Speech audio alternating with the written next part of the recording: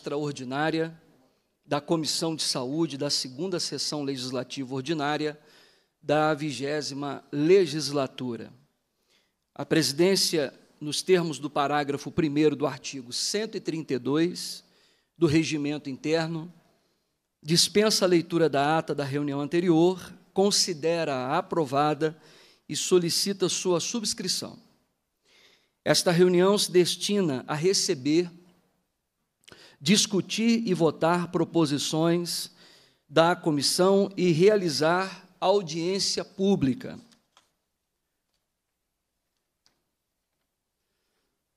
Passa-se a primeira fase da terceira parte da reunião, que compreende audiência pública. Esta audiência tem a finalidade de debater o Setembro Amarelo, campanha de prevenção à automutilação, à depressão e ao suicídio. A presidência, tendo em vista a legislação em vigor, recomenda aos parlamentares, convidados e participantes de reuniões e eventos de qualquer natureza, promovidos por esta casa, que evitem o uso de materiais e a realização de pronunciamentos que abordem temas eleitorais ou que caracterizem pedido de votos. Estão presentes os seguintes convidados. E já aproveito para chamá-los à mesa, por gentileza. Vamos receber aqui um grande apoiador desta causa, profundo conhecedor desta causa, e que tem sempre contribuído nas audiências aqui na Assembleia Legislativa de Minas Gerais. Refiro-me ao vice-presidente da Associação Mineira de Psiquiatria, doutor Humberto Correia da Silva Filho. Seja bem-vindo, doutor Humberto.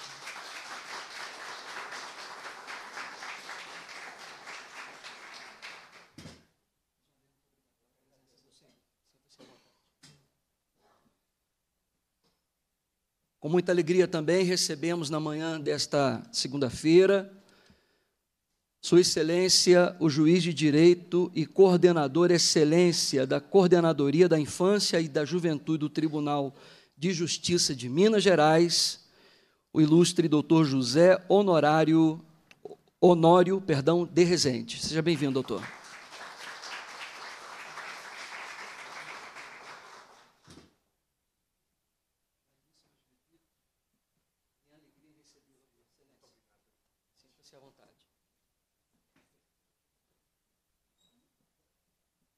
Vamos receber também com muita alegria o coordenador do projeto HELP, o senhor Tíndaro Lanes Magalhães. Por favor.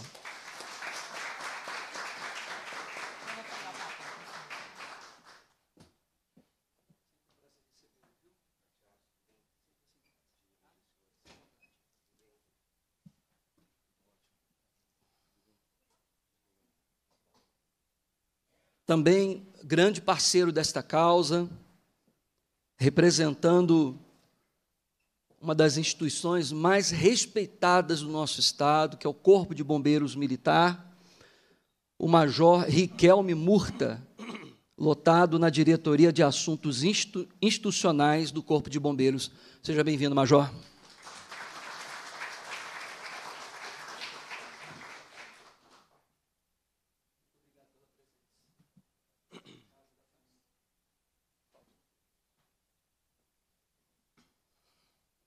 Meus amigos, minhas amigas, vamos receber também com bastante satisfação hoje, aqui representando o corpo é, técnico de saúde da Assembleia Legislativa de Minas Gerais, o senhor Sebastião Aleixo de Souza Filho. Seja bem-vindo, senhor Sebastião.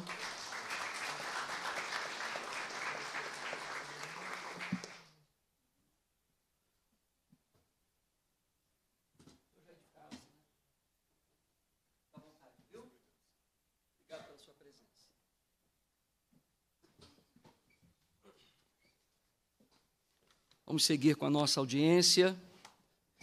Na qualidade de autor do requerimento que deu origem a esta audiência, quero fazer as minhas considerações iniciais, Nós preparamos um vídeo, temos uma apresentação também, e antes de, de colocá-las, eu quero agradecer aqui a presença é, dos jovens da Asprom. Faço aqui o agradecimento pessoal à auxiliadora Matos, coordenadora do núcleo Vida da, da casa, da Assembleia. Muito obrigado, auxiliadora, por permitir que os jovens participem conosco aqui. Sejam muito bem-vindos a esta nossa audiência. Bem-vindos também aos demais convidados, representantes aqui do, do, do HELP e outros convidados, e já deixo de antemão também aqui os nossos cumprimentos aos que estão nos assistindo pelo YouTube e pela TV Assembleia. Muito bem, aos membros da mesa também, muito honrado estar ao lado aqui dos senhores e compartilharmos esse tema tão responsável.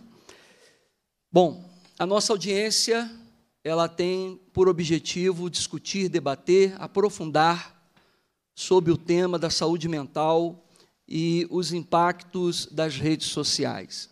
Antes de nós entrarmos na apresentação, para aqueles que não nos conhecem, nós, desde o início do nosso mandato aqui na, na casa, refiro-me ao ano de 2019, primeiro ano do nosso mandato, portanto, seis anos aqui, que nós temos levantado esta bandeira. Mas por quê?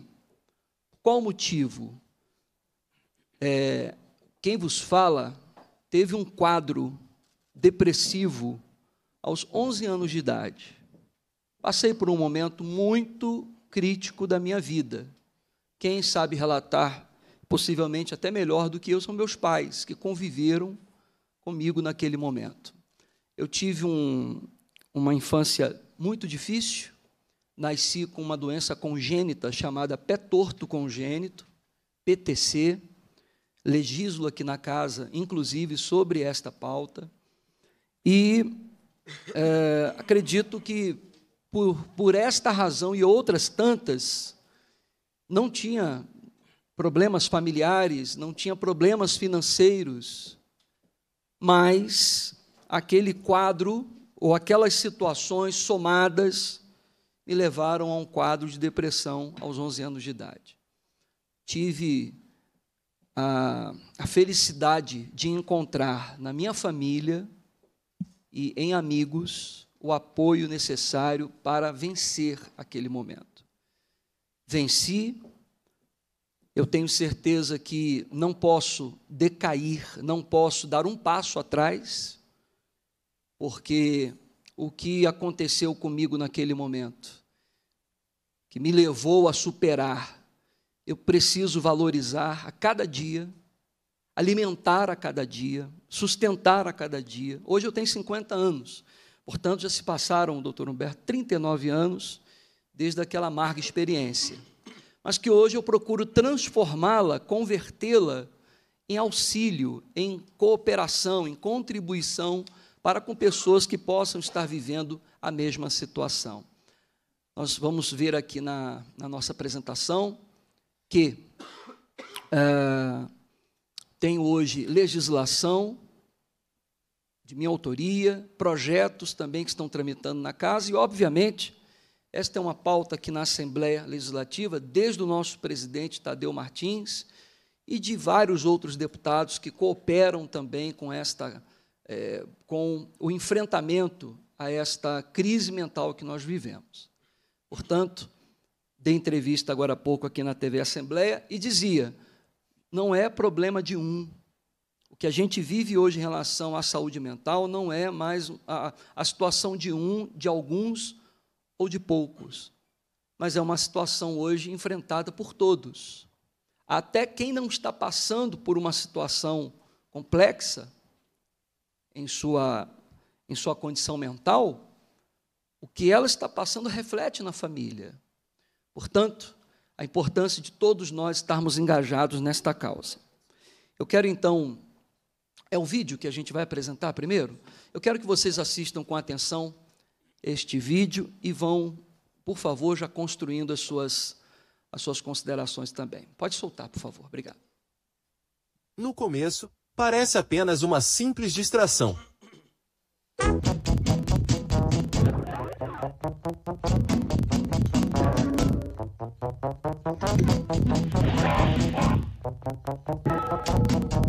Mas, aquela olhadinha na tela pode terminar em tragédia.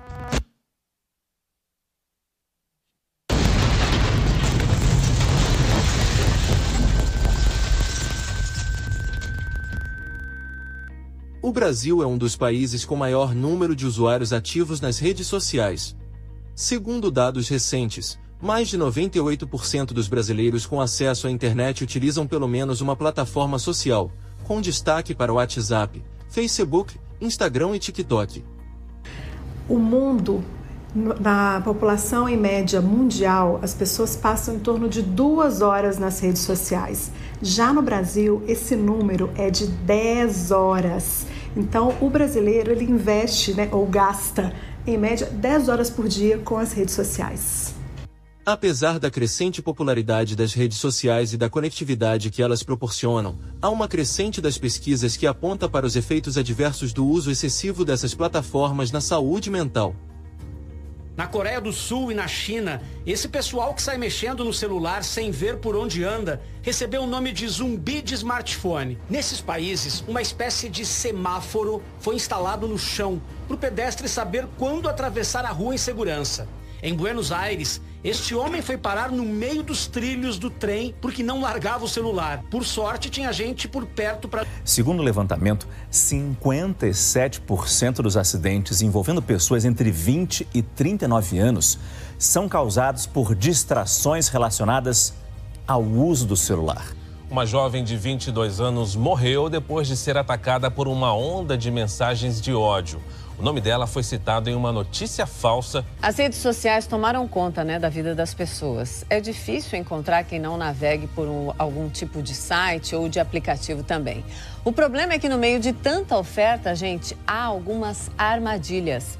É o caso do desafio da baleia azul. Um jogo online difundido no mundo todo que pode convencer o participante a fazer provas perigosíssimas e até a se matar.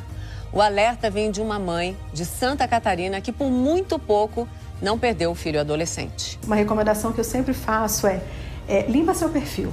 Deixa só o que é essencial. Porque às vezes a gente vai seguindo, seguindo, seguindo, seguindo muitas coisas. E isso vai nos dando uma infoxicação, né? Que é um termo que a gente tem usado hoje, né? Que é o excesso de, de informações. Ok. Vamos à apresentação, então, por favor.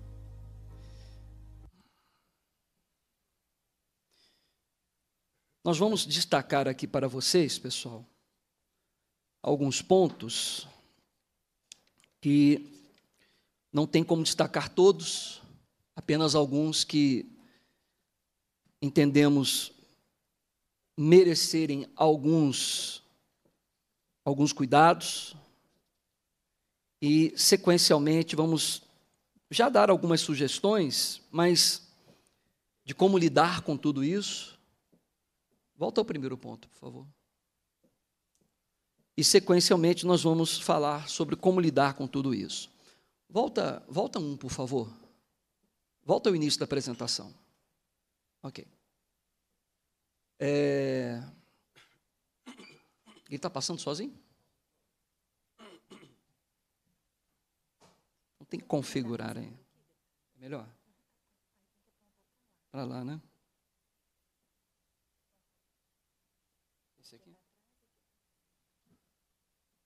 Vamos ver aqui. Ok.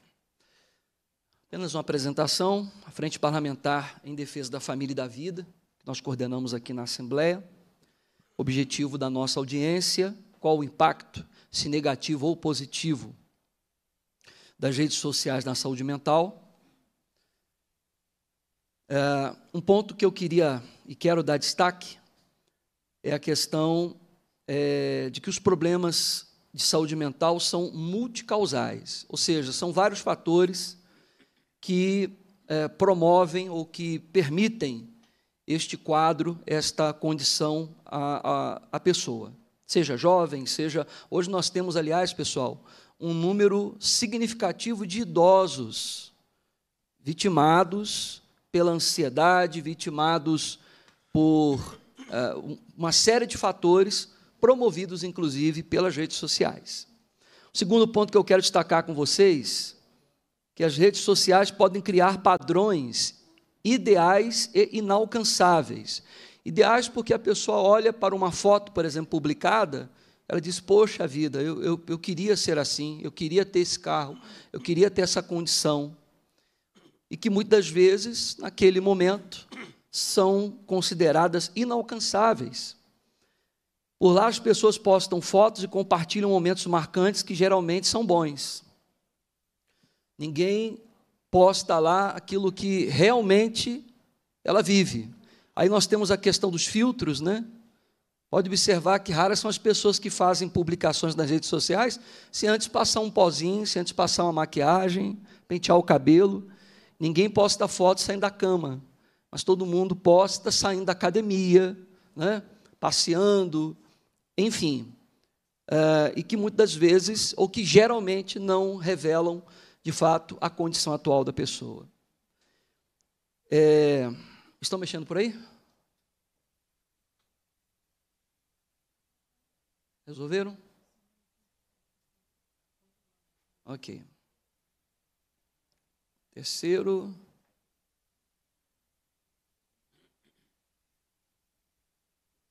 Já passei do segundo, terceiro ponto. Ok. Volta um, por favor. Terceiro ponto. Ok. Se conseguir segurar, eu agradeço. Terceiro ponto. Estudos comprovam que o uso excessivo de telas é responsável pelo fenômeno de dependência, provocando estímulos constantes e reforços positivos, como comentários, volta de novo, validações e curtidas. Ou seja, cria-se a, a necessidade, entre aspas, de ter que curtir, de ter que verificar um comentário. Ah, e isso. Volta, por favor.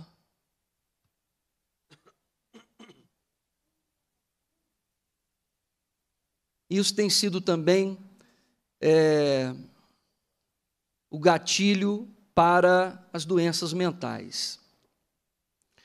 Quarto ponto que nós queremos comentar é o fenômeno do cyberbullying.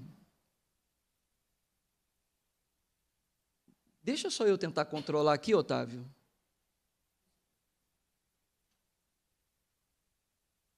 Só um minutinho, pessoal. Ao vivo é assim mesmo, gente. Assim que eu terminar minha apresentação, seria bom já verificar dos, a dos demais participantes, para não não, não, não ter que passarem também por essa situação.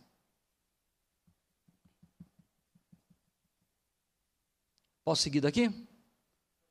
Ok, então deixa nessa tela ficar melhor. Temos aí o quarto ponto, que é um outro fenômeno atual. É um, um nome, deram um nome inovador, né? Um nome até bonito, mas com efeito nefasto, que é o cyberbullying momento no qual pessoas com dificuldade em interação interpessoal encontram amigos e até mesmo relações afetivas. Ou seja, muitas das vezes a rede social encoraja a pessoa a fazer o que ela não faria no dia a dia. Ela às vezes não teria coragem de olhar nos olhos de alguém e dizer: ou eu não gosto de você, ou eu gosto muito de você. Mas ela, por estar ali, digamos, escondida pela tela, pela tela do celular, ela vai no comentário e ela é, vê-se na condição de manifestar o sentimento dela, é, seja contrário, seja a favor, por alguém. Então, existe esse fenômeno, cyberbullying, também é outra condição que nós precisamos pensar em como combater. Vamos passar o quinto ponto, por favor. Quinto ponto, por serem grandes geradoras de dopamina, acessar as redes sociais rapidamente torna-se um hábito. Inclusive na tela de celular costuma ser o principal ícone, o WhatsApp, o Instagram e outros. Se pedir que a pessoa procure lá um, um ícone de, de um, de um outro aplicativo, ela tem que colocar na busca. Mas, comumente, os, os de rede social, nós já sabemos a posição em que ele está na nossa tela. Uma rápida consulta, por exemplo, ao Instagram, antes de dormir, pode virar minutos de rolagem de tela, reduzindo a produção de melatonina. É aquela tal, não, só vou olhar rapidinho aqui o que, que comentaram lá na minha foto. E da minha foto já se segue para outra, outra conta, e assim de um minuto que a pessoa pensava em acessar ou averiguar, consultar, torna-se 15, 20, 30 minutos ou mais. Qual é o problema disso? Veja lá, reduzindo a produção de melatonina, um dos hormônios responsáveis pela indução e manutenção do sono. Se é comprovado cientificamente que antes da pessoa dormir, é importante, é necessário uma redução de luzes até para que o cérebro dela facilite ah, tanto pegar no sono quanto ter também um sono mais tranquilo durante a noite, madrugada. Por favor, pode passar. Sexto ponto. Os pontos até aqui elencados elevam o, o risco de um transtorno de ansiedade pelo excesso de estímulos, como pela comparação com outras pessoas e até mesmo pelos prejuízos no ciclo do sono. Então entra-se aí a questão não só da, da, da, perda de uma boa noite de sono, como a questão de ansiedade, ganho de peso, é, dificuldade até na, na atenção no trânsito no dia seguinte, ah, prejudicando o próprio relacionamento entre os colegas. Então, veja, senhoras e senhores, nós estamos falando de um efeito dominó, de um fenômeno é, que tem um ponto de partida e, infelizmente, nós não estamos enxergando até onde tudo isso pode chegar. É um fenômeno novo e que estamos, infelizmente, colhendo frutos é, terríveis de tudo isso. Pode passar, por gentileza. Como lidar com isso? São algumas sugestões. Salvo engano, nós estamos colocando aí seis sugestões que eu gostaria de pedir muito a atenção de vocês se há alguém aqui que se identifica ou que está se identificando com a nossa fala, conhece pessoas, colegas do seu convívio que estão vivendo por esta realidade, seria muito importante compartilhar com eles algumas dessas dicas. Nós não somos donos da verdade, mas isso é comprovado cientificamente. Como lidar com isso? Faça uma seleção de conteúdo. Eu é, levanto aqui esta, esta bandeira é, em todas as audiências que eu tenho feito, e eu quero que vocês guardem uma frase: não existe desver. Vou repetir para que você entenda: não existe desver. Tudo que nós vemos é captado pelo nosso cérebro. Em algum momento, aquela imagem retorna, aquela imagem nos vem novamente. Portanto, é importante fazer uma seleção daquilo que nós estamos colocando diante dos nossos olhos. Desative notificações. Provocador de ansiedade. Opa, chegou mais um aqui. E às vezes nem, nem uma mensagem tão importante, mas a notificação já gera aquela preocupação. Alguém deve estar mandando mensagem, ou o que, estão dizendo? Será que curtiram ou não curtiram? Eu falo isso para vocês porque eu não tenho, é, por exemplo, notificação de WhatsApp até aparece, mas de rede social na minha tela não. De outras redes sociais na minha tela não. E também, se eu colocar o telefone no modo privado, é, o meu telefone não vibra. Porque às vezes está no bolso, do terno, da, da, da calça, e aí você já fica naquela: quem está me ligando? Quem está mandando mensagem? Eu penso no seguinte: se eu estou dirigindo, se eu estou numa reunião, se eu estou numa audiência, se eu estiver atendendo você lá no gabinete, você merece a minha atenção. Quem quer que esteja ligando, vai aguardar um pouquinho. Se eu não puder falar naquela hora, quando eu terminar o atendimento, eu vou dar o retorno que a pessoa precisa. Mas é uma ferramenta importante, é uma sugestão importante desativar notificações. Estabeleça uma meta de uso, ou seja, este não é o momento para usar. Eu estou conversando com vocês aqui, o meu telefone está virado a tela para baixo. Porque não me importa agora quem precisa falar comigo. Eu preciso dar atenção a vocês. Então, estabeleça o momento. Ao sair daqui, vou verificar se tem alguma mensagem ou não, se dá para responder naquele momento, se requer um tempo maior para respostas. Então, estabeleceu uma meta de uso. Pode passar, por favor. Tenha outros passatempos, existem tantos, né, pessoal? É, faz uma, faça uma experiência hoje. Se você for almoçar com, com um colega, com alguém, deixe o telefone lá desligado, converse com a pessoa, olhe nos olhos. Né? Vai ler um livro, assista um bom filme, uma boa série, faça uma caminhada. Enfim, há vida fora das redes sociais, viu? É importante dizer isso. Há vida. Há vida fora das redes sociais. Foque na sua vida presencial.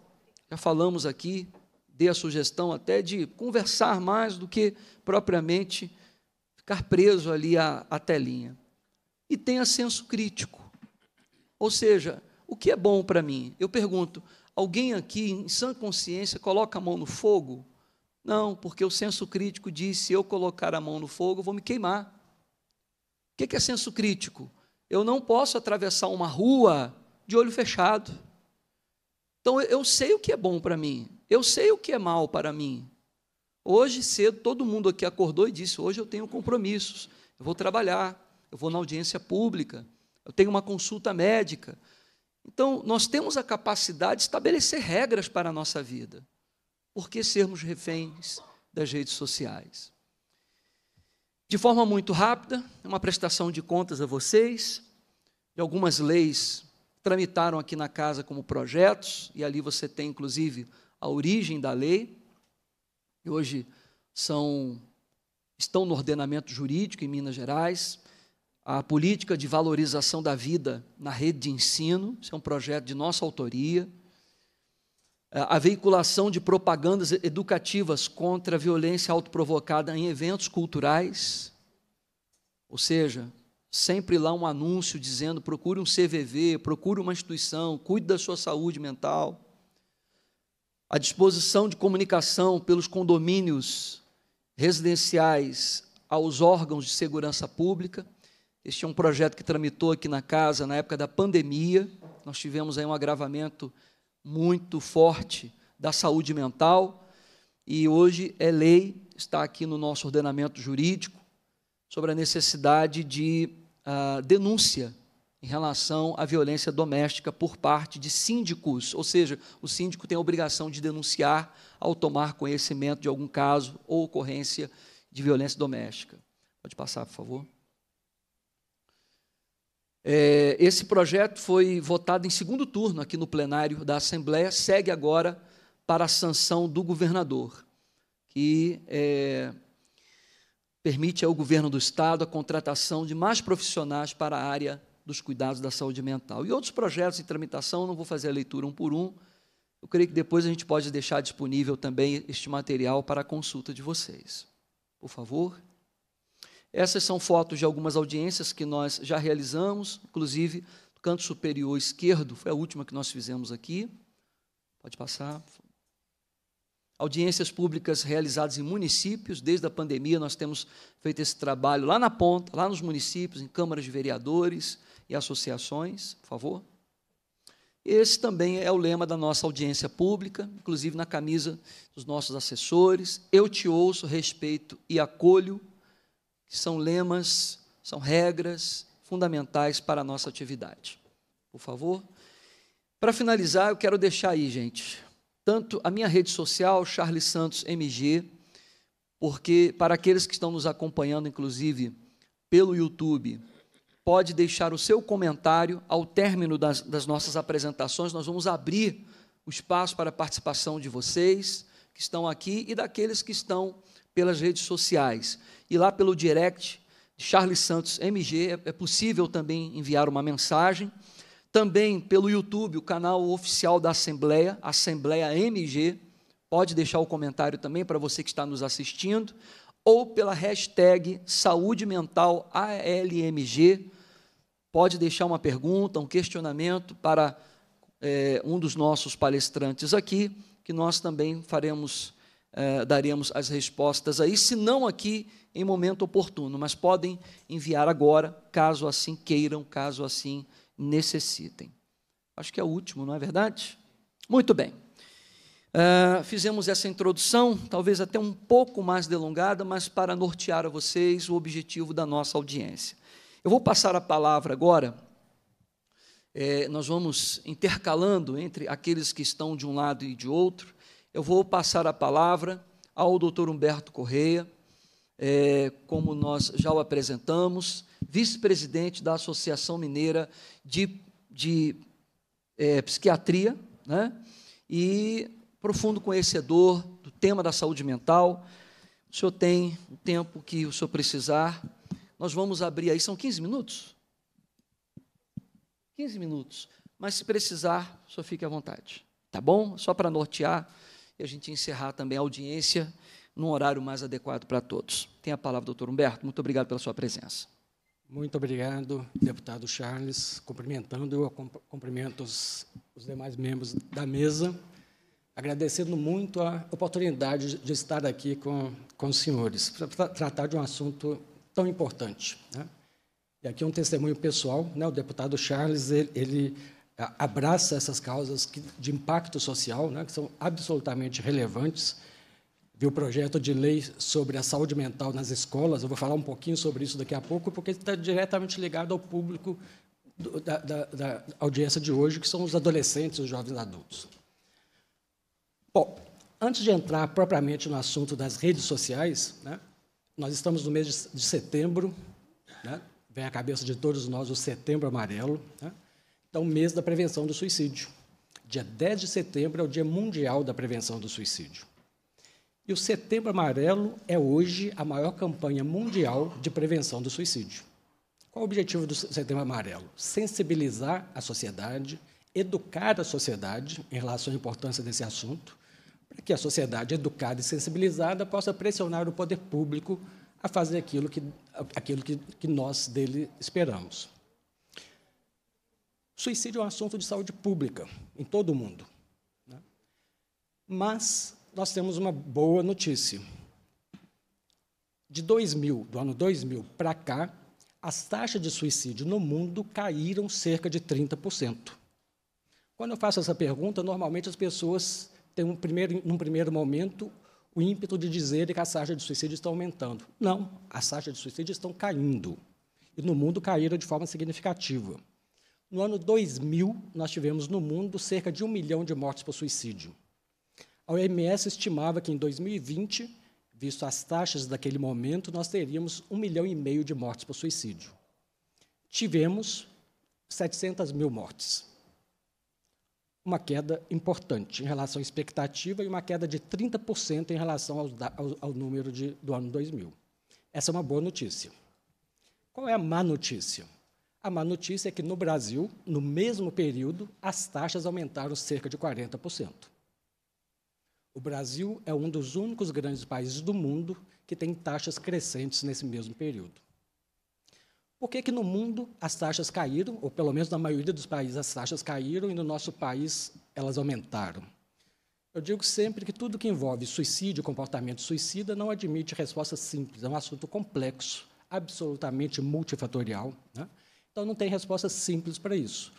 Mas, provavelmente, a principal resposta é política pública de prevenção do suicídio. Lá no início dos anos 2000, a Organização Mundial de Saúde convidou os países membros a criarem suas estratégias nacionais de prevenção do suicídio. E dezenas de países assinaram esse compromisso e fizeram, criaram as suas estratégias de prevenção do suicídio. O Brasil é signatário desse compromisso, mas nós não fizemos o nosso dever de casa. Nós assinamos o compromisso e nem tentamos fazer. Essa, essa é provavelmente a principal explicação para esse fato. No mundo as taxas caíram, no Brasil as taxas aumentaram. Né? Hoje, a partir da experiência dessas dezenas de países, nós sabemos o que funciona em termos de, de, de prevenção. Nós temos evidências científicas robustas que apontam o caminho que nós deveríamos seguir. Posso dividir essas evidências em dois grandes grupos: aquelas ligadas à assistência em saúde propriamente e aquelas de cunho mais geral. Eu vou começar pelo primeiro grupo, aquelas relacionadas à assistência à, pessoa com necessidade. As evidências mostram que o tratamento rápido e efetivo da doença mental, e entre elas, em particular, a depressão, porque a depressão é a doença mais associada ao suicídio, reduz a taxa de suicídio. Parece óbvio, né? mas nós temos evidências que, além da obviedade, comprovam essa afirmativa. Tratamento rápido e efetivo da depressão reduz as taxas de suicídio. Eu estou falando aqui de uma doença mental. Eu não estou usando o termo sofrimento mental, que é um eufemismo criado para camuflar a realidade. Parece-me aquela nova língua de, de, Orwell, né? É doença mental. A doença mental ela leva a sofrimento, obviamente, mas o termo correto é doença mental. Segundo elemento que funciona, o, o treinamento dos profissionais de saúde lá na atenção básica, aquele que está lá na ponta. Os estudos mostram que quando esse profissional na atenção básica ele é treinado, ele recebe um treinamento em saúde mental, prevenção do suicídio, em, em, em ansiedade e outros, as taxas de suicídio naquela comunidade se reduzem, e se reduzem de forma duradoura. É algo que, pensando, parando para pensar na nossa realidade brasileira, é algo que nós podemos perfeitamente fazer. Né? E quando pensamos na população geral, duas grandes evidências. A restrição de acesso a métodos letais, os estudos mostram que numa determinada comunidade, quando essa comunidade escolhe um determinado método como principal é, é, método usado para suicídio, quando eu reduzo o acesso a esse método, eu tenho reduções na taxa de suicídio. Isso é importante. Nós temos também dezenas de estudos, é provavelmente a maior evidência científica que nós temos nesse grande campus chamado suicidologia. E o segundo ponto, e aí nós vamos entrar aqui no assunto que mais diretamente nos interessa, que são os adolescentes e os jovens adultos. A abordagem adequada feita nas escolas reduz o comportamento suicida. E eu vou citar um estudo em particular, das, das várias dezenas que nós temos, conduzido pela Danuta Weissman, que é atual presidente da Associação Mundial de Psiquiatria. Ela fez um estudo com alunos do que seria o nosso ensino médio, alunos lá da Europa. Então, em setembro, que para eles é o primeiro mês letivo, ao longo de todo o mês de setembro, esses alunos tiveram aulas sobre assuntos como ansiedade, depressão, automutilação, suicídio. Monitores foram treinados para interagir com esses alunos durante esse primeiro mês de aula, discutindo esses assuntos. Foi elaborada uma cartilha falando sobre isso, e esses alunos receberam essa cartilha, estudaram essa cartilha, tinham cartazes espalhados pela, pela, pelas escolas ao longo desse primeiro mês de aulas. Isso reduziu o comportamento suicida nesses adolescentes ao longo de todo o ano escolar. Então, falar com adolescentes nas escolas de forma adequada sobre comportamento suicida reduz o risco de suicídio nessa população. Eu disse para os senhores que, no Brasil, as taxas de suicídio aumentaram cerca de 40%. E aumentaram ainda mais dramaticamente, justamente nessa faixa etária, adolescentes e jovens adultos. A população vai de 15 a 29 anos de idade. Esse aumento aconteceu no mundo inteiro, não só no Brasil. Só que em outros países eles conseguiram reduzir as taxas gerais de, de suicídio, mas nós observamos no mundo inteiro um aumento da taxa de suicídio em adolescentes e jovens adultos, 15 a 29 anos de idade. Pois bem, esses estudos mostram que a abordagem adequada feita nas escolas reduz o comportamento suicida nesses, nesses jovens, nesses adolescentes e jovens adultos. Onde um adolescente está ou deveria estar todo o seu tempo? Na escola e na família. Né? São os locais privilegiados de prevenção do suicídio. Eu não estou dizendo aqui que nós devemos pegar a coitada da nossa professora e falar que, que ela também tem que fazer prevenção do suicídio. Não é isso. Tem que ter um treinamento adequado, pessoas formadas e treinadas para fazer esse trabalho. Né? Por que, que nós temos observado esse aumento das taxas de suicídio em jovens e adolescentes? De novo, não existe resposta simples para essa pergunta, é multifatorial. Né? Muitas vezes nós até banalizamos o ato suicida ou o comportamento suicida no adolescente como se isso fosse, hum, entre aspas, natural ou normal nessa faixa etária. Não é normal. Né? Me veio à cabeça que um estudo, um grande estudo sueco, os escandinavos são ótimos para conduzir esse tipo de estudo, eles avaliaram cerca de 200 mil pessoas e viram que quando um rapaz de até 20 anos de idade faz uma tentativa de suicídio, ele tem a sua expectativa de vida reduzida em 18 anos. Isso é gravíssimo. A expectativa de vida média do brasileiro é em torno de 75 anos. Um adolescente brasileiro, nós não temos estudos iguais no Brasil, mas comparando com o estudo sueco, quando um adolescente brasileiro faz uma, uma, uma, tentativa de suicídio, ele vai viver menos do que a população geral. Por quê? Esse estudo mostrou que existe um fator, o próprio comportamento suicida. Quem tenta suicídio é grupo de risco para suicídio futuro. Mas não é esse o principal. O principal se chama doença mental. É como se essa tentativa de suicídio fosse um marcador de uma coisa grave acontecendo com esse adolescente. Que coisa grave é essa? Doença mental depressão, transtorno bipolar, esquizofrenia e outros. E todas as consequências de uma doença mental, né, que nós sabemos que é, por si só já reduz a, expectativa de vida. Nós temos observado no mundo inteiro um aumento das taxas de adoecimento mental em adolescentes e jovens adultos. No mundo inteiro. É uma preocupação social de todos nós. Eu gostei muito da fala do deputado Charles. São assuntos que interessam ao poder público, mas interessam diretamente a cada um de nós, membros da sociedade, membros dessa coletividade. Por que, que tem aumentado as taxas de adoecimento mental em adolescentes e jovens adultos? Múltiplas razões. Os estudos apontam, por exemplo, uso de álcool e outras substâncias cada vez mais cedo álcool em pessoas menores de 18 anos no nosso país é proibido, mas os estudos mostram o uso de álcool e outras substâncias cada vez mais cedo, em quantidade cada vez maior. Esse é um problema. Outro problema, redes sociais. Aliás, tela de uma forma geral. Os estudos mostram que quanto maior o tempo de tela, maior o risco de adoecimento mental, depressão e transtornos de ansiedade, principalmente. Tempo de tela é de acordo com a faixa etária. Né? Então, X horas no, no, no, no, jovem adolescente, um pouco mais de horas no, adolescente mais velho e assim por diante. Mas parece que cinco horas é um tempo crítico, é um ponto de corte. Mais de cinco horas estão, estão associados a mais adoecimento mental de forma significativa. E no, o Brasil é um dos campeões mundiais de tempo de tela. Né? E aí me vem uma questão Vários países estão discutindo isso, vários países já aprovaram. A França, por exemplo, eu morei alguns anos na França, alguns anos atrás, já antes da pandemia, a França, o Congresso francês, proibiu o uso de celular nas escolas, até 16 anos de idade. Ou seja, quem tem menos de 16 anos de idade não pode entrar com celular numa escola francesa. Será que nós não poderíamos fazer coisas semelhantes aqui no nosso meio?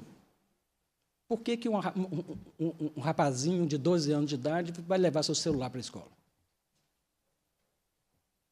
Tá? Isso é algo que nós, nós temos que pensar. Então, tempo de tela associado a mais adoecimento mental, isso certamente, indiretamente, levando às, às maiores taxas de suicídio. Além disso, a tela e as redes sociais têm os seus inconvenientes próprios. O deputado Charles citou aqui o cyberbullying, que é uma coisa importante nós sabemos que as pessoas que sofrem cyberbullying são um grupo de risco para suicídio, aumentam o risco de suicídio. Curioso, deputado Charles, parece que aquele que perpetra o bullying também. Os dois estão precisando de ajuda. Aquele que sofreu, principalmente, é aquele que nos dá, causa maior empatia. Mas o que provoca o bullying, o causador do bullying, também está precisando de ajuda. Ambos precisam. Então, cyberbullying é uma coisa séria. O bullying sempre existiu. Mas antigamente o bullying era restrito a três ou quatro pessoas no ambiente da escola, a pessoa ia para sua família, estava protegido daquele, da, daquela situação. Hoje o cyberbullying é 24 horas. Não são mais três ou quatro pessoas, são às vezes milhares de pessoas participando daquilo. Então isso é uma, importante, é um fenômeno das mídias sociais que nós temos que, enquanto sociedade, aprender a lidar com isso. Outra questão importante das mídias sociais, isso é inclusive previsto no Código Penal, artigo 122, a instigação e a facilitação. Infelizmente, isso existe. Né? Conteúdos de mídias sociais, da, da, das telas de uma forma geral, que de uma forma ou de outra instigam ou facilitam o, o ato suicida e a, e a própria automutilação.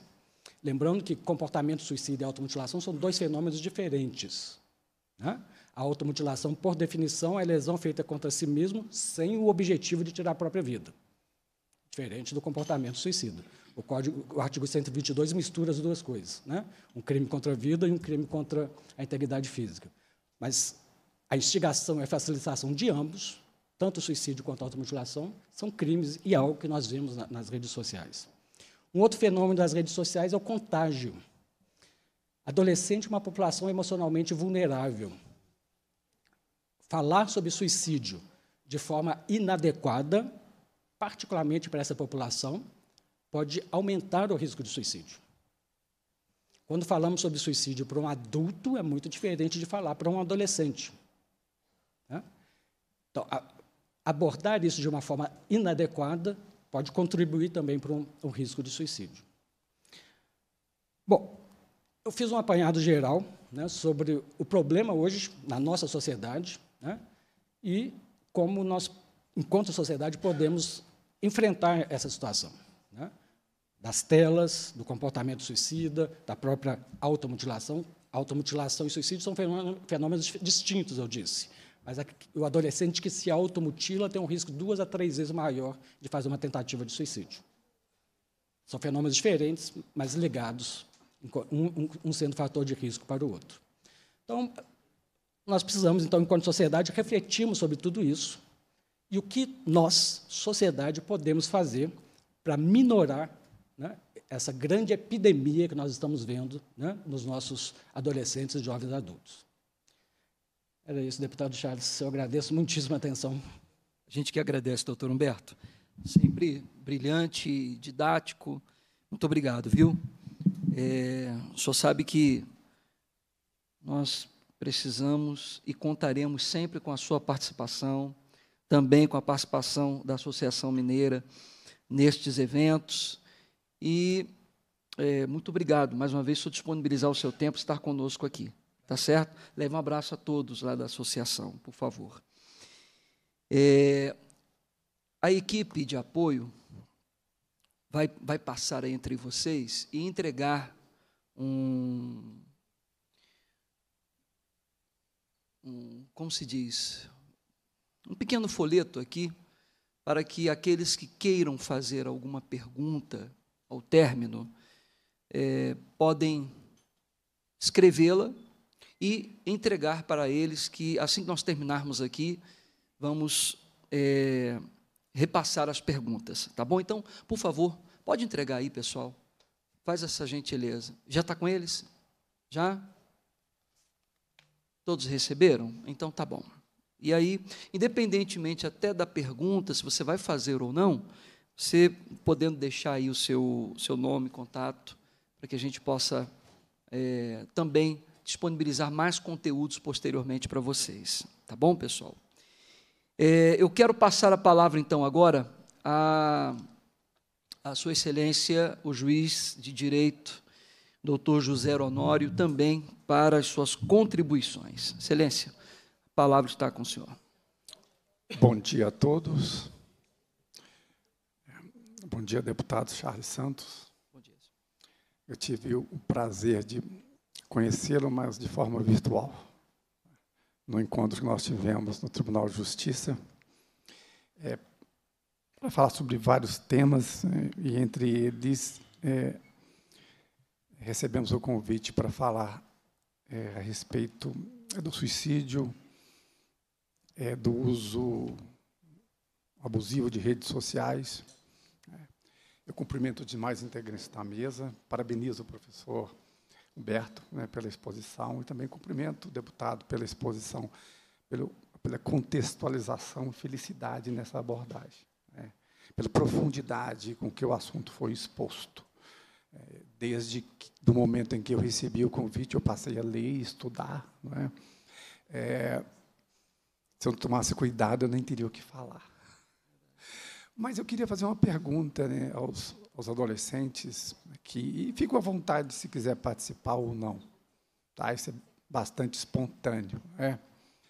É, algum de vocês considera que faz uso excessivo de rede social?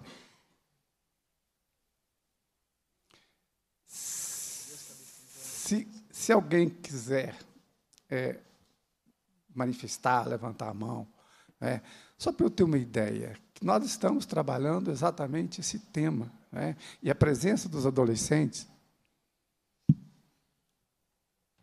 eles podem nos dar, nos dar alguma referência. É, se o foco é esse mesmo, não é?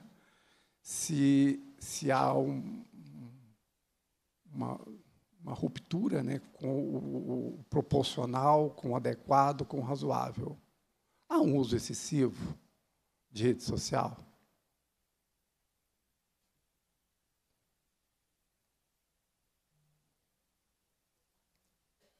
Considera que há um uso excessivo. Mais alguém avalia que usa de forma excessiva? excessiva? Fique à vontade, sabe? Eu acho que é, esses espaços não é, são muito importantes para as pessoas, de algum modo, se é, manifestarem. Né? Muitas vezes a gente fica num ambiente muito, num, num discurso, né? É, às vezes numa monotonia. Né? Um fala e os outros ouvem. Né? Esse é um modelo meio jesuíta né? de ensinar. Eu tenho conhecimento, vocês estão aí para receber esse conhecimento. Né? Se nós não tivéssemos uma interação, é, esse diálogo muitas vezes não funciona, né? até para entender. Né? Que eu, eu é, queria fazer essa pergunta para vocês, né? É, para poder até dar um norte aqui à minha fala. É, mas no momento em que eu recebi o convite, eu comecei a ter uma atenção voltada para o tema suicídio em geral. É, esse tema, para mim, é um tema muito difícil de falar sobre ele porque eu tive um suicídio na família. Então, deputado, é, confesso que eu retomo não é, um contato talvez um pouquinho mais profundo, mas é, tentando superar é, é, muitos limites quando eu era ainda uma criança de 6, 7 anos de idade. É, eu tive um tio que suicidou. É, e isso marcou a família para toda a história dela. Há, uma, há mais ou menos uns dois meses, nós fizemos um evento de encontro de toda a família, e um dos netos dessa pessoa me procurou, me procurou e disse que também queria suicidar. Que ele ia fazer igual o avô dele fez. Ele queria saber por que o avô dele suicidou. Alguém tinha que falar isso com ele. É. É, eu não, não, sou especialista na área, não é? é? mas trabalho com adolescentes há 20 anos. Sou juiz né, da infância há 20 anos aqui em Belo Horizonte. É, e, de algum modo, é, é, transitamos por vários saberes. É, então, é, eu procurei entender, conversar com ele, dialogar muito com ele, é, para entender o sofrimento dele, né, entender as necessidades dele. Né. Isso tem muito a ver com a comunicação não violenta, né? Nós identificamos as necessidades das pessoas, identificamos os sentimentos, ouvimos sem julgar, e procuramos uma intervenção apropriada para o caso. É? É, eu acredito não é, que eu, eu, propus outros encaminhamentos para ele. É, é, cria-se uma conexão, isso gera um vínculo, é? e cria-se um outro sentido para a vida. Esse foi um, um marco. Esse foi o marco mais difícil de eu voltar para esse tema. Recentemente também, mais ou menos uns três anos, eu tive um sobrinho de 18, 19 anos de idade que ele tentou suicídio. Ele tentou suicídio porque ele parou de ver sentido na vida. E é, eu conversei muito com a, a, a mãe dele, com, com a minha irmã, né? Para tentar entender esse movimento é? É, da falta de sentido na vida dele, é? de um jovem muito inteligente, é? que está por trás também da, da, própria identificação do Setembro Amarelo, um jovem de 17 anos extremamente inteligente, mas dentro da família não se foi capaz de perceber o que acontecia com ele. Não é? É, aí até perguntamos, indagamos, será que ali de fato seria uma família? É? Nós vivemos um contexto hoje que muitas vezes as pessoas se comunicam dentro de casa por WhatsApp, né? é, trocam mensagens sem olhar para o outro aquilo que foi bem destacado aqui. Né? É,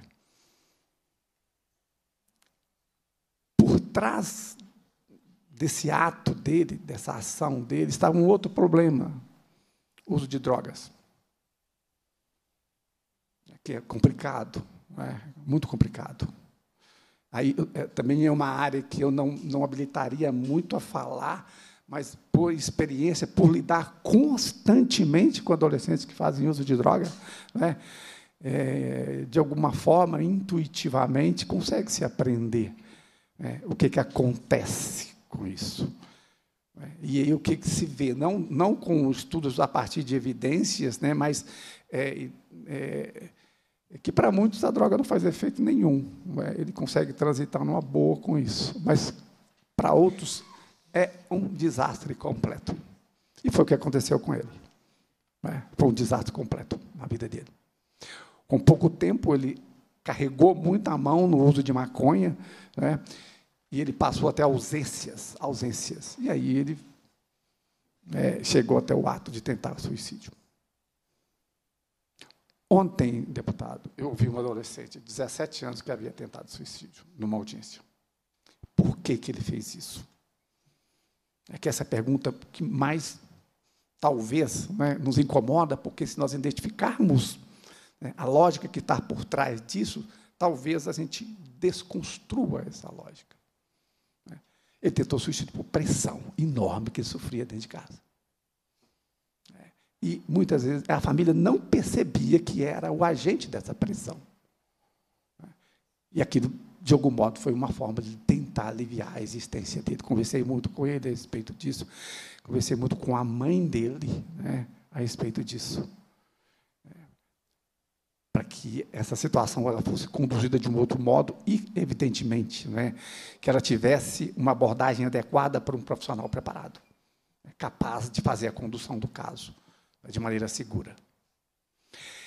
Bem, é, deputado, é, eu fiz um olhar, é, eu queria contextualizar isso aqui, um pouco da minha vivência, o deputado trouxe a vivência dele, né, do contexto de depressão.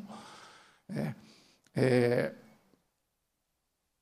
nas reflexões né, que eu fiz para conversar com vocês, eu fui atrás também da minha própria formação de adolescente, de estudante, de profissional. É, é, uma referência, a primeira referência, é, que eu diria técnica, que eu diria não do campo do real, mas do campo é, do conhecimento mais tratado, de uma abordagem melhor conduzida, foi com o sofrimento do jovem Werther. Alguém já leu esse livro? Os Sofrimentos do Jovem Werther. É um livro de Goethe. Né? Ele foi escrito no século XVIII, no final do século XVIII. E ele trata do suicídio. E esse livro chegou a ser proibido porque ele gerou uma onda de suicídio nos adolescentes. É, a, a, história sintetizando, né, é, Werther também é, ele é, deixou de encontrar o sentido da existência. Ele tinha um amor muito profundo por, por Charlotte. Né? É um amor que não seria realizável por diversas, diversas circunstâncias, né? e ele acaba suicidando. É um livro que vale a pena ler, sabe? É, comecem a ter um contato diferente, né?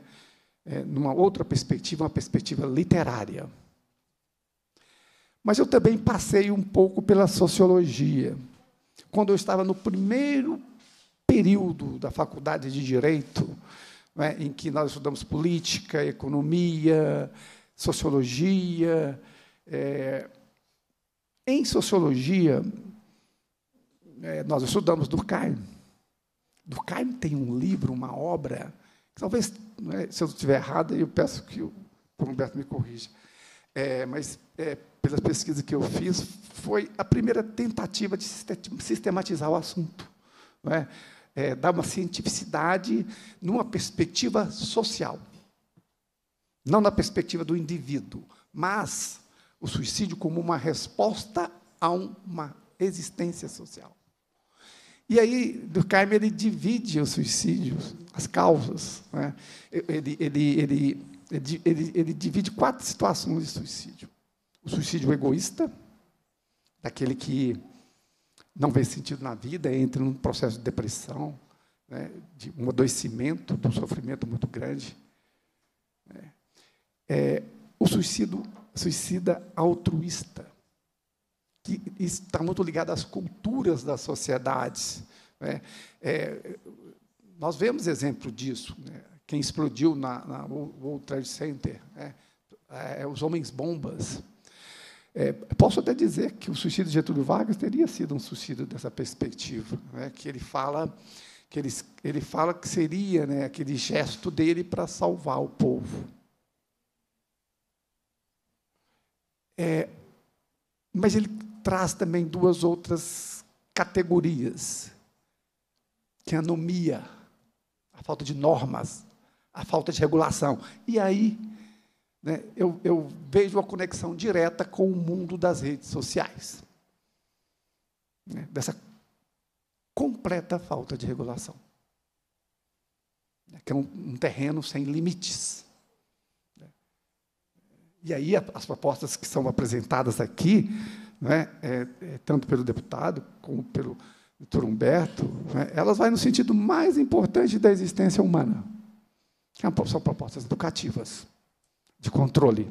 O autocontrole, né, que é, num, num, num nível é, que nós observamos hoje, ele perdeu essa condição, esse autocontrole não existe. É, pelos dados que são é, levantados de uso excessivo de rede social, né, e dos danos que isso tem gerado para a adolescência, por conta do período formativo biológico que elas se encontram. Né, e danos para sempre. Porque o, o Jonathan Hard, né, ele fala em uma reconfiguração cerebral completa, a partir desse contato intenso, né, de absoluto descontrole com redes sociais, esse, esse divorciamentos, essa palavra aqui, com o mundo real. É, a era do smartphone, né, ele, ele enfatiza muito isso. Uma criança de dois anos de idade já sabe falar numa tela de smartphone. Isso gera estímulos. Não existe o desver, como o deputado muito bem disse, tudo gera estímulo. E uma criança, até a primeira infância, ela tem milhões de estímulos as janelas, né, que é assim que a medicina fala, de oportunidade de desenvolvimento, está no mundo virtual. Aí vem a dificuldade de lidar com o real da vida. Nós todos temos dificuldade de lidar com o real da vida. E, e, eu vi isso de um médico numa palestra, né, em que ele, ele, ele explicava por que o ser humano usa drogas. Aí ele me deu uma resposta que eu achei sim, fascinante. É, todos nós temos dificuldades com o real da vida. Sabe? Muitas vezes nós buscamos artifícios para fazer com que esse real suporte, se esse real não é adequadamente enfrentado. É, dentro de um, de um processo educacional, dentro de casa, na escola. Abordagem adequada, intervenção adequada, como bem foi acentuado pelo doutor Humberto. Mas ao lado da anomia, né, existe também uma outra categoria que Durkheim diz que é o fatalismo. Aí é o excesso de pressão, né, que, é, de algum modo, né, é, a nossa existência nesses tempos é, tem nos empurrado, tem nos empurrado por resultados, os jovens, a situação de empregabilidade difícil, é? a conquista de espaço de mercado.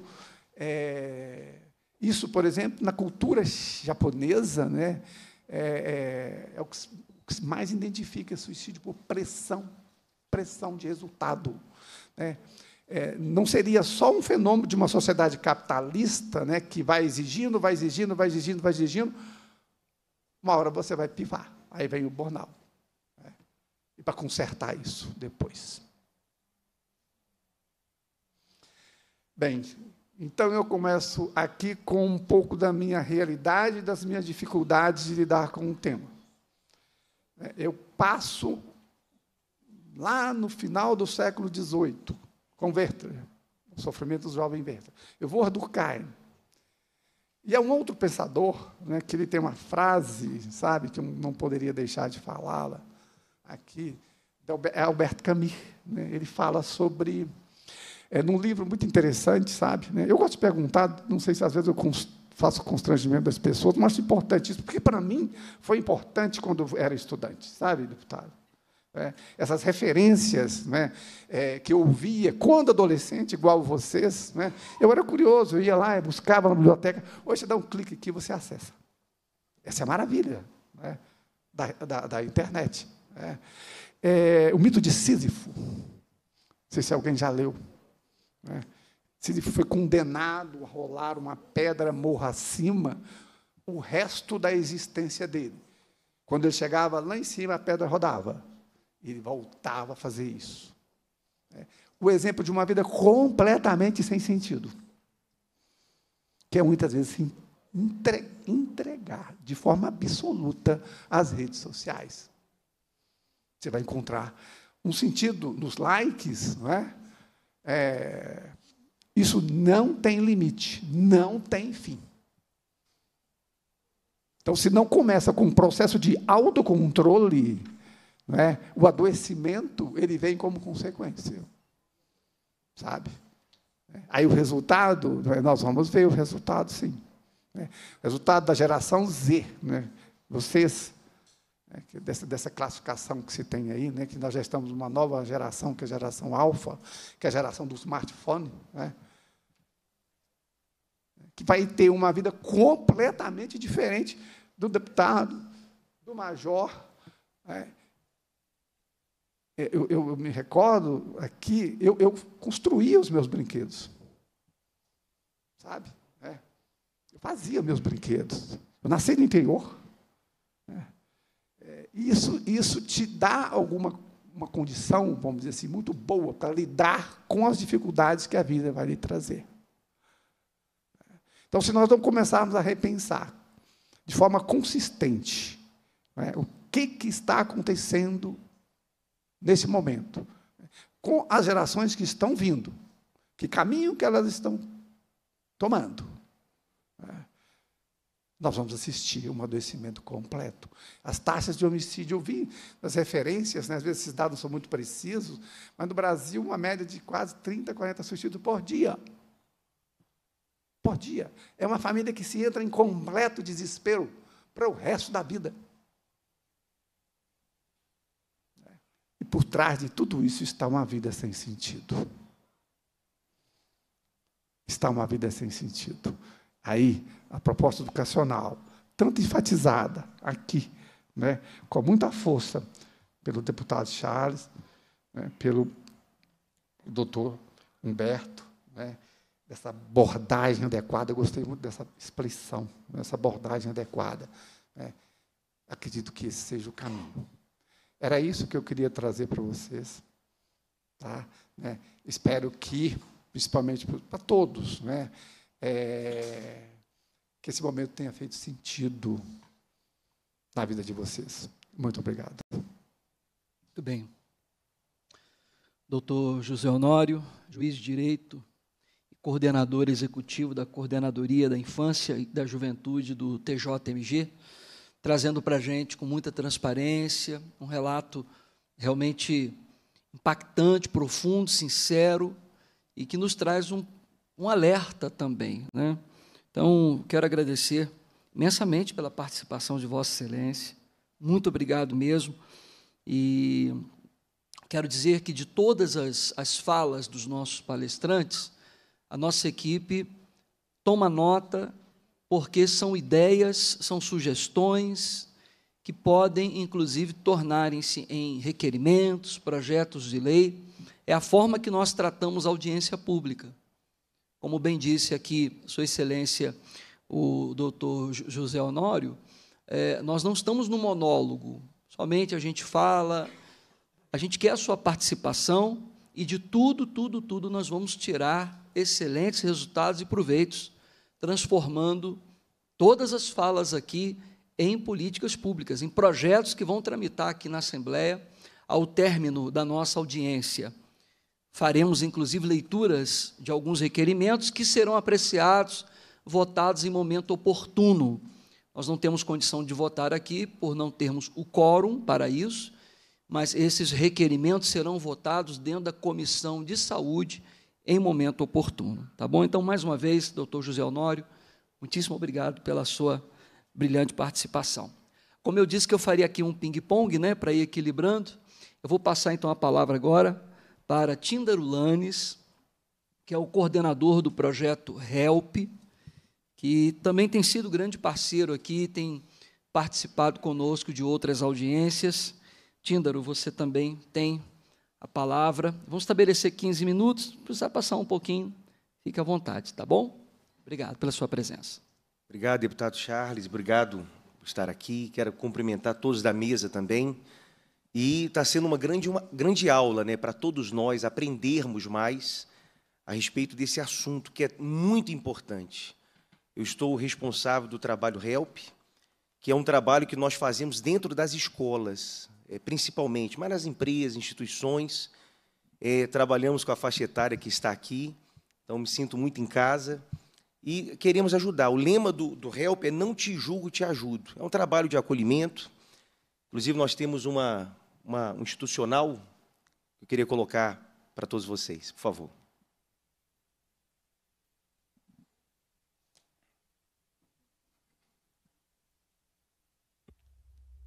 Olá, eu me chamo Ana Clara, tenho 22 anos e hoje eu sou uma das voluntárias do projeto HELP.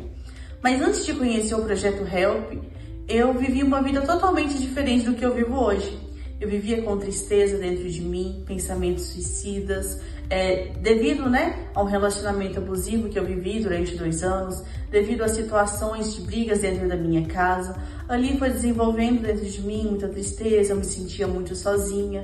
E aos 15 para 16 anos, eu conheci através das redes sociais, no Facebook, grupos suicidas, grupos fechados, onde ele tinha pessoas que sofriam, que tinham vontade de morrer, que tinha crise de ansiedade, e as pessoas elas contavam a sua história, contavam depoimentos, deixavam cartas de suicídios, todas essas coisas, situações que passavam dentro delas. E através desse grupo eu fui alimentando ainda mais a vontade de morrer, a vontade de tirar minha própria vida. Mas também, através desse grupo do suicídio, eu fui ajudada porque um voluntário do projeto Help entrou nesse grupo e postou, fez uma postagem, né, perguntando se alguém queria ajuda, se alguém queria desabafar. E foi onde então eu tomei uma decisão de pedir ajuda. E ali eu chamei ele, contei a minha história, contei o que se passava dentro de mim e em todo momento ele me ouviu e me ajudou. Então, através do projeto Help,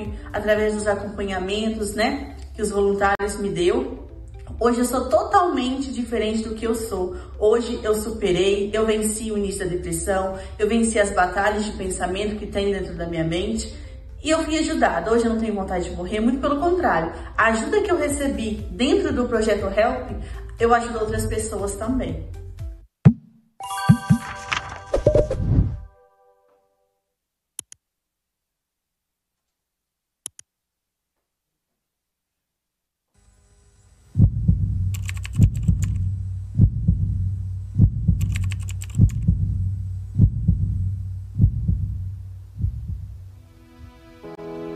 Sempre há uma saída. Você vai esperar. Você é maior que sua dor. Esse problema não te define. E as melhores virão.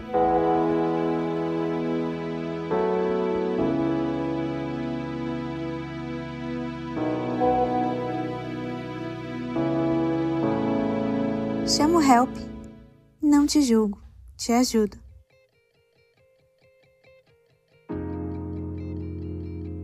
Porque o HELP existe para preservar a vida através da prevenção e motivação.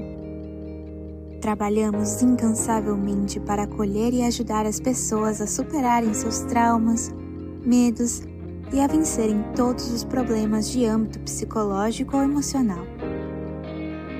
Com o lema Não te julgo, te ajudo, promovemos uma escuta qualificada e a propagação da inteligência emocional. Nossos voluntários são exemplos vivos de que é possível superar e transformar tudo. O projeto HELP está presente em todo o Brasil e ao redor do mundo através das suas mais diversas ações, como a distribuição das cartas com frases de superação, cantinho do desabafo, palestras em escolas e empresas, grandes eventos de conscientização e mobilizações nacionais de valorização à vida em praças, passarelas, viadutos, pontes e sinais de trânsito. Buscamos mostrar o real valor de cada jovem, provando que eles não estão sozinhos. Afinal, pedir um help não é sinal de fraqueza. Por isso, estamos disponíveis 24 horas por dia, 7 dias por semana, através da nossa central de atendimento no WhatsApp você também pode nos encontrar nas nossas redes sociais. Precisando de ajuda? Chama o Help.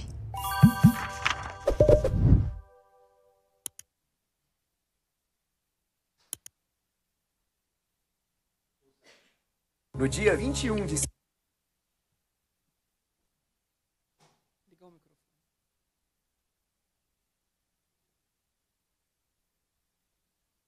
Por favor. Obrigado. Então, é, os senhores acompanharam aí, todos puderam assistir a, o testemunho, né, que eu ia colocar logo mais, mas já entrou da Ana Clara, que inclusive está aqui com a gente. Hoje ela é voluntária do HELP também, ela participa com a gente e ela ajuda a gente no, no projeto. Ela vai nas escolas conosco e é um trabalho de ajuda. Uma das coisas que nós fazemos, deputado Charles, e a todos aqui da casa, é o trabalho nas escolas. Né? A gente leva uma palestra que é a batalha dos pensamentos. É, é uma palestra e que tem tudo a ver com o que nós estamos falando aqui hoje, né? o impacto das redes sociais. O que acontece? Todos nós somos bombardeados diariamente por pensamentos, palavras, ideias, pensamentos, bons pensamentos, com certeza, e também maus pensamentos. Por exemplo, com certeza na sua mente vêm bons pensamentos, mas também vêm os maus pensamentos. Então a gente procura levar para os adolescentes, para os jovens, para as empresas, é, a pessoa alimentar os bons pensamentos. Então, sabe, sempre vem pensamentos na, na nossa mente aí, a gente tem que combater, né, a batalha dos pensamentos, tá? Então, o que que acontece? Por exemplo, é, vou fazer aqui um exercício, aqui uma dinâmica com vocês. É, tente não pensar numa maçã vermelha. Bom, eu, tudo bem que você talvez tenha pensado na maçã verde, mas com certeza veio na sua cabeça aí a maçã vermelha.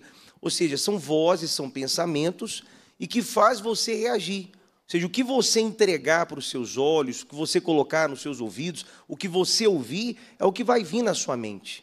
Então, a batalha dos pensamentos, nós temos que combater. E as redes sociais, o que a gente vê, eu tinha até escrito, coincidência, eu, quando eu cheguei aqui de carro com a minha esposa, eu falei, eu falei, amor, uma coisa que eu vou acrescentar hoje lá, eu quero falar para o pessoal, é sobre o desver. E o senhor colocou exatamente isso, até tinha escrito já, o desver. Não existe o desver. Tudo que você viu, não tem como você falar assim, eu não vou ver mais. Já está dentro de você. Então a ideia é você, é todos nós, não ficar vendo o que não deveria ver. Ou seja, ser seletivo. Nós temos que ser seletivos na batalha do pensamento. Quem é que vai vencer? Vai vencer quem você mais alimentar. Então, se vem aquele pensamento, você entra nas redes sociais e só fica vendo conteúdos ali, fica se comparando, fica se diminuindo. Então, isso acontece muito, né? Os jovens, a pessoa vai lá e ela se diminui, ela, existe a comparação, ainda mais jovem. E ela fica alimentando aquilo e começa a se olhar e se comparar e achar que é feia. Ou seja, é uma batalha de pensamento. E ela tem que vencer. Ela precisa vencer aquilo. Como? Reagindo. Então, na escola, a gente tem a dinâmica, é um trabalho de. A gente escuta os jovens também. Eu estava falando agora há pouco, antes de começar aqui, dando depoimento, que a gente procura ouvir as pessoas. Ouvir, procurar entender e não julgar. Porque às vezes o jovem ele se abre, mas se abre por um amigo, o amigo vai zombar, vem um bullying. Ou seja, então ele não foi ajudado. Ele ouviu, ele falou, desabafou, mas não foi ajudado. Nós procuramos ouvir, procurar entender e ajudar a mostrar para ele que aquele pensamento, se ele começar a combater e ele começar a alimentar os bons pensamentos, por exemplo, quem nunca pensou, uma coisa que eu faço muito na escola é, é perguntar assim: quem já pensou em fugir de casa? Eu já pensei em fugir de casa. Na verdade, eu fugi de casa. Mas eu, eu fui na rua, andei alguns, algumas quadras, criança, né? E eu voltei para casa. Mas foi um mau pensamento. Então, às vezes a pessoa ela pensa em desistir. Todos que estão aqui hoje, inclusive os senhores, com certeza, nos estudos, veio aquele, os maus pensamentos de desistir, aquele dia mal, no casamento, na família, mas você não se entregou, você, você arrumou alguma ferramenta de não acreditar naquela ideia, naqueles pensamentos, e você venceu, você combateu. E por isso, hoje você tem um diploma, hoje você está formado, hoje você está ajudando outras pessoas, porque você não acreditou. Estou vendo aqui meu amigo da UFP, nós já fizemos várias palestras para os policiais, os guardas municipais. Ou seja, a gente fala exatamente isso, que a pessoa ela tem que acreditar, ela tem que fomentar os bons pensamentos. Então, o trabalho do HELP é isso. A gente faz o trabalho nas escolas, leva essa ajuda emocional e fica a dica para todos vocês, não fique consumindo de tudo. É, coloca regras, limites. Procure, eu acredito que vocês tomaram notas, e pratique o que foi falado, que o deputado Charles falou aqui. Se você praticar, com certeza você vai começar a ser seletivo. O que que você coloca diante dos seus olhos, o que você traz para a sua casa. E nem tudo que você está vindo lá, você tem, que, você tem que acreditar. A gente fala sobre a reação, né? a gente faz a dinâmica lá da reação, da resistência. A gente faz de maneira lúdica, né? de maneira que a pessoa vai ali e coloca o professor e a pessoa para fazer ali a prancha, ser resistente para ela vencer ali. E a pessoa tem que fazer isso na vida, né? ser resistente. Como? Como é que ela vai reagir? Ela reage quando ela começa a acreditar o seguinte: isso aqui é mentira. Entendeu? Ela, ela começa a fomentar os bons pensamentos. E nós teremos um grande evento, deputado Charles. É, a gente faz na escola o ano todo, nas instituições, levando essa ideia, os bons pensamentos. O trabalho da cartinha, que o senhor já conhece, por favor, empresta a cartinha, que nós colocamos na, em vários pontos né, estratégicos e é o que a gente está falando, pensamentos. Eu falei aqui para vocês, eu fiz o exercício de você não pensar numa maçã vermelha e todo mundo pensou. Então, quantas pessoas que estavam indo ali para fazer uma besteira, para se cortar, pensamento de alto, a pessoa de, de, tirar a própria vida, essas coisas, e ela vê uma cartinha dessa, uma palavra pode mudar. Ela foi ali com uma ideia, um pensamento, mas só de ela abrir uma cartinha dessa, e está aqui, essa aqui, ó. Existe pessoas que se importam com você de verdade. Chama o help. Então, às vezes a pessoa está ali pensando em desistir. Mas uma palavra pode fazer a pessoa ficar para baixo, pode fazer a pessoa desistir do casamento, pode fazer a pessoa sair do emprego, largar uma carreira, mas uma palavra pode fazer a pessoa desistir daquela ideia ruim, negativa. Então, é, é assim que o help trabalha, com palavra palavras motivacionais, pensamentos, palavras que são pensamentos que vão se tornar em atitudes. Compreenderam, pessoal? É assim que nós trabalhamos. Inclusive, se me permitir, a gente tem aí uma, uma chamada, não sei se está certa aí já, é, do Mega Help. Estou com a camisa do Mega Help. Todo ano a gente faz esse trabalho né, nas escolas. E lá no Mega Help, os professores, diretores, os alunos, os voluntários, fica o meu convite para todo, toda a plateia aqui, os adolescentes, é, para os senhores também que compõem a mesa, para poder lá participar do musical, vai ter o um musical, tudo de maneira laica, musical, apresentações de dança, ou seja, bons pensamentos. O jovem ele, ele é bombardeado, principalmente pelas redes sociais. Tem muita coisa ali, a pessoa se compara, a pessoa às vezes fica para baixo. É uma ferramenta importantíssima as redes sociais, a gente não pode eh, tirar isso da vida, pelo contrário, ela, ela faz parte da nossa vida, mas é usar de maneira positiva. Ou seja, se a pessoa ela consome coisas boas ali, se ela assiste coisas produtivas, boas, ela com certeza vai crescer, vai amadurecer, e eu me coloco aqui, inclusive, à disposição, tá? Se você precisa de ajuda, quer desabafar, quer conversar, quer saber mais sobre o HELP, estamos à disposição. Se você quiser, vamos lá na sua escola também fazer a palestra gratuitamente, são voluntários, são centenas de voluntários, e o trabalho tem crescido aí, não só no Estado, em todo o Brasil. Esse Mega Help, que vocês vão assistir agora a chamada, vai acontecer em várias cidades, Juiz de Fora, na, na semana seguinte, Uberlândia, é, em todo o Brasil. E acontece até fora também.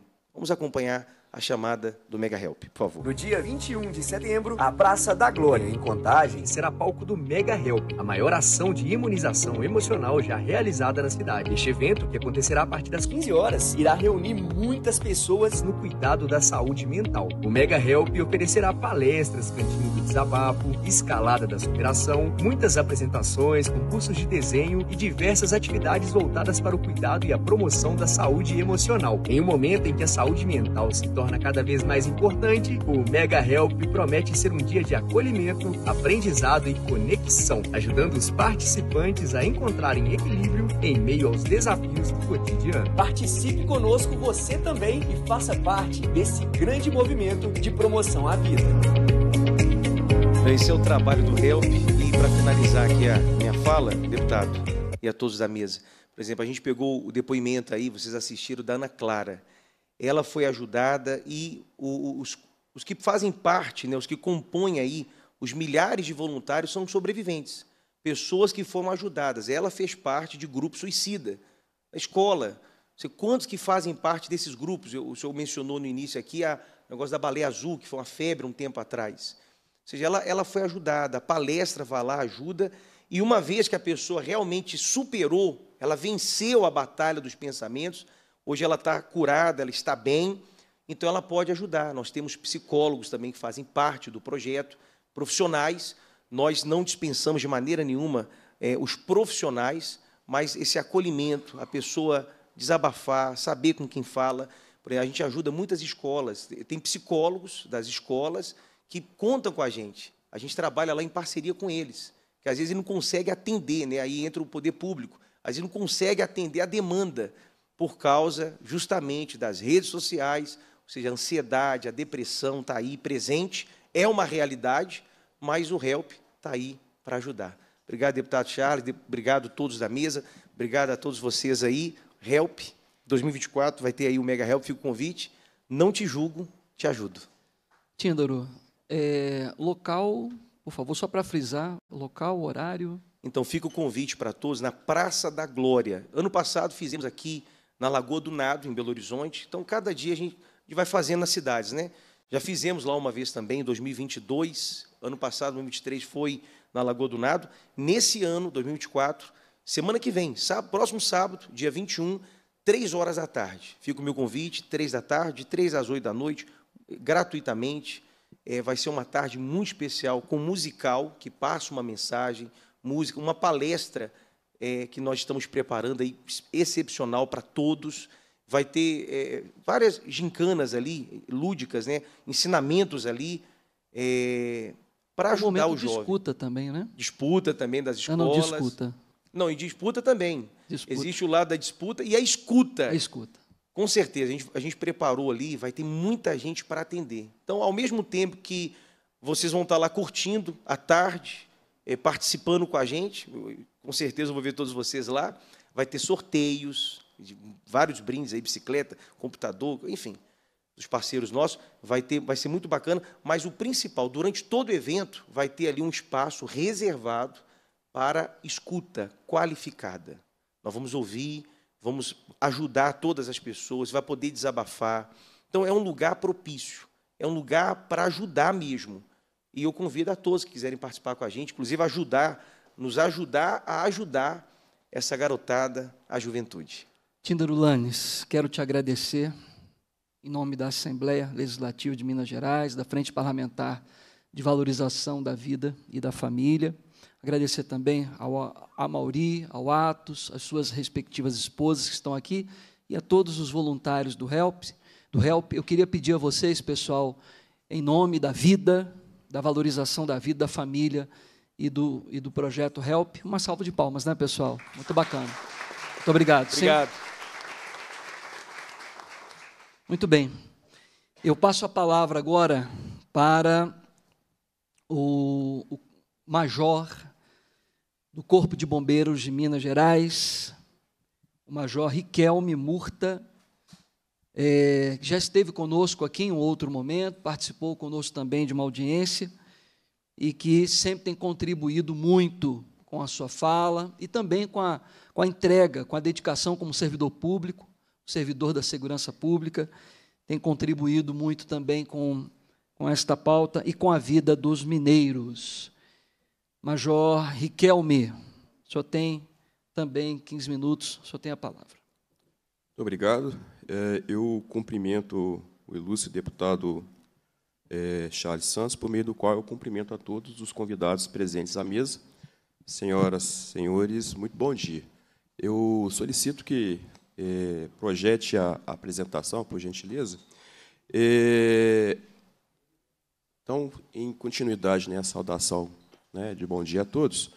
É, falarei, buscarei falar desse bate-papo aqui, brevemente, sobre a conexão entre uma instituição ligada ao, aos riscos e ao atendimento a emergências e as redes sociais. E a finalidade é justamente mostrar como que é feita essa conexão entre o usuário da rede e os serviços de emergências é, seja por profissionais de saúde, seja por profissionais de segurança pública. Tá? É, pode passar, por favor? É, a gente vai trilhar, então, por este caminho, buscando apresentar de uma forma progressiva como que é feito essa conexão. Esses são os tópicos por quais irei buscar abordar. Pode passar, por favor? Eu começo mostrando essa imagem. Ela simboliza, então, um trabalho que o Corpo de Bombeiros faz. É, há pouco tempo atrás, é, pouco, pouco mais de um ano, é, existe no Corpo de Bombeiros Militar de Minas Gerais um grupo de especialistas em atendimento a tentativas de suicídio, é, que nós os nomeamos como abordadores. São profissionais é, que, que fazem o tipo de intervenção da forma utilizada no protocolo nacional, que é a abordagem técnica à tentativa de suicídio, que é uma abordagem humanizada. Neste grupo, certa vez, é, um de nossos abordadores visualizou em uma rede social uma postagem sequencial de uma pessoa de um município aqui de Minas, é, alegando que iria é, cometer o autoextermínio. De imediato, aquilo deflagrou uma ação de vários abordadores. Esses abordadores são do estado inteiro. Então, buscamos informações, é, pessoas que são amigas em comum, fotos, fotos com, é, é, marcadas, com pessoas marcadas. Por fim, nós conseguimos identificar um familiar e alguns amigos que nos deram o endereço.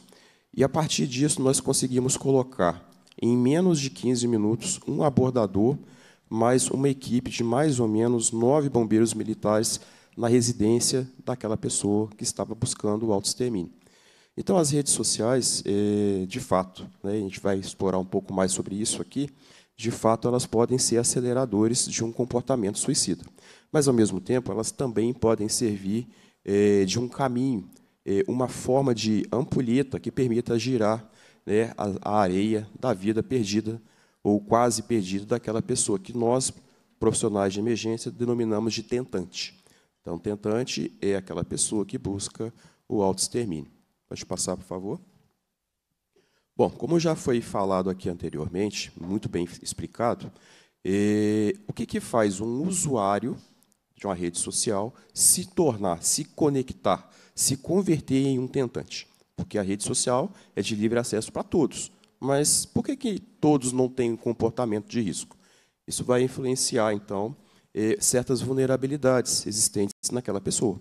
Vulnerabilidades biológicas, é, um transtorno psiquiátrico, alguma alteração bioquímica, é, vulnerabilidades psicológicas, né, como, por exemplo, a impulsividade, a, o perfeccionismo, dificuldade na tomada de decisões. Então, esses são elementos que, que influenciam também, além do fator da vulnerabilidade social.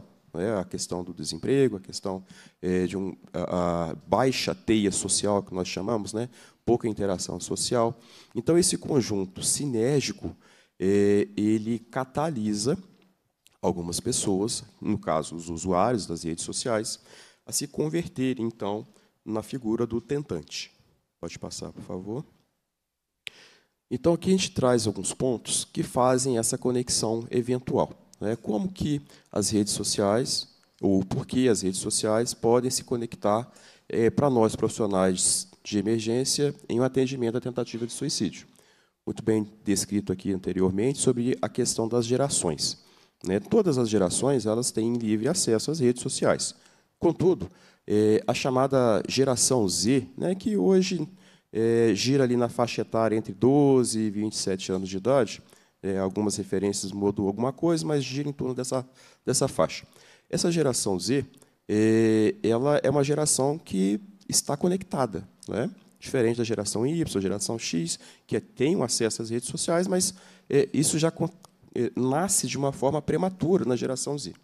E aí o excesso de informações é, pode gerar, como bem explicado anteriormente aqui pelos é, é, expositores anteriores, é, o excesso de informação pode favorecer quadros de ansiedade, também influencia a questão da, do perfeccionismo. Né? Com, nas redes sociais existem uma vida editada, não é uma vida real. E aí nós comparamos o nosso pior, porque nós conhecemos o nosso pior, com o melhor editado de uma outra pessoa. E aí a comparação ela é muito discrepante. Então, isso também pode ser é, é, um catalisador já foi bem explicado, né, a questão do cyberbullying, né, que, e, que expõe a, a, vida daquela pessoa, né, aquele usuário, de forma a, considerando aquelas vulnerabilidades biológicas, psíquicas e sociais, ser é, influenciável para o comportamento suicida, por exemplo. É, além disso, como eu falei, a questão do perfeccionismo, dentro dessa comparação, é, isso pode amplificar, então, os sentimentos de desespero e o isolamento social. Apesar de a gente estar conectado no mundo por qualquer rede social, isso ao mesmo tempo nos isola, porque eu não tenho contato físico, eu não tenho aquela experiência é, de ter uma comunicação é, tete a tete. Isso influencia. É, então, quando a gente considera a, as vulnerabilidades biológicas, psíquicas e sociais, a gente pode categorizar é, categorizá-las como os fatores de risco, aquilo que move no caso aqui, né, especificamente o usuário, para a condição de um tentante. É, isso que move, a gente divide né, em fatores de risco predisponentes, e que é a bagagem, a mochilinha de vida daquela pessoa, que pode influenciar e potencializar o suicídio. E temos o fator precipitante, que é o gatilho, que, infelizmente, é o que nós vemos reduzidos nos jornais, é, é, é como sendo a causa do suicídio, que não é, como vimos, é um fator multifatorial. Então, quando a gente pensa nas redes sociais, essa rede social ela pode servir tanto como fator de risco predisponente, ou seja, como a, a questão do cyberbullying vai se, vai se amplificando, é, a questão do, do, do perfeccionismo, é, ou seja, pode entrar, configurar-se como um elemento, é, a mochilinha da vida da, daquele usuário, mas também pode servir como um fator precipitante, né, aquela gota d'água, aquilo, como foi falado anteriormente, de um vídeo, é, uma sequência de mensagens é, que podem sim deflagrar o suicídio de uma pessoa previamente vulnerável. Pode passar, por favor. Ah, anteriormente falava também é, aquilo que o, o excelentíssimo, o meritíssimo havia apresentado sobre é, uma literatura, né, o sofrimento do jovem Werther, que vai dar base é, para o conhecimento chamado efeito Werther, que é quando um suicídio de uma pessoa pode influenciar o suicídio de outras. E a vitrine né, da web ela pode servir, então, como, como é, um catalisador, ou seja, pode servir como efeito Werther quando divulgado ali de uma forma inadequada o suicídio de alguém. E aí, trazendo algumas estatísticas, essas aí, quem tiver curiosidade de, de apontar o celular e baixar pelo QR Code, é, terão acesso ao último boletim epidemiológico do Ministério da Saúde. É, foi liberado esse ano, né, em, em fevereiro deste ano. É, são os dados mais recentes. Então, aí tem algumas informações que vão começar a conectar é, a rede social, que falamos, né, que está intrínseca à geração Z, por exemplo, e os dados recentes do Ministério da Saúde. Então, nós vemos ali que os jovens de 15 a 29 anos, geração Z, eh, concentram cerca de 34% do suicídio no ano de 2021, eh, no Brasil. Os adolescentes de 15 a 19 anos, a terceira maior causa de morte, e é a quarta maior causa de morte entre os jovens de 20 a 29 anos. Então, é, é, a questão das redes sociais, elas permeiam, não necessariamente é a causa precípua, mas elas permeiam essa população vulnerável.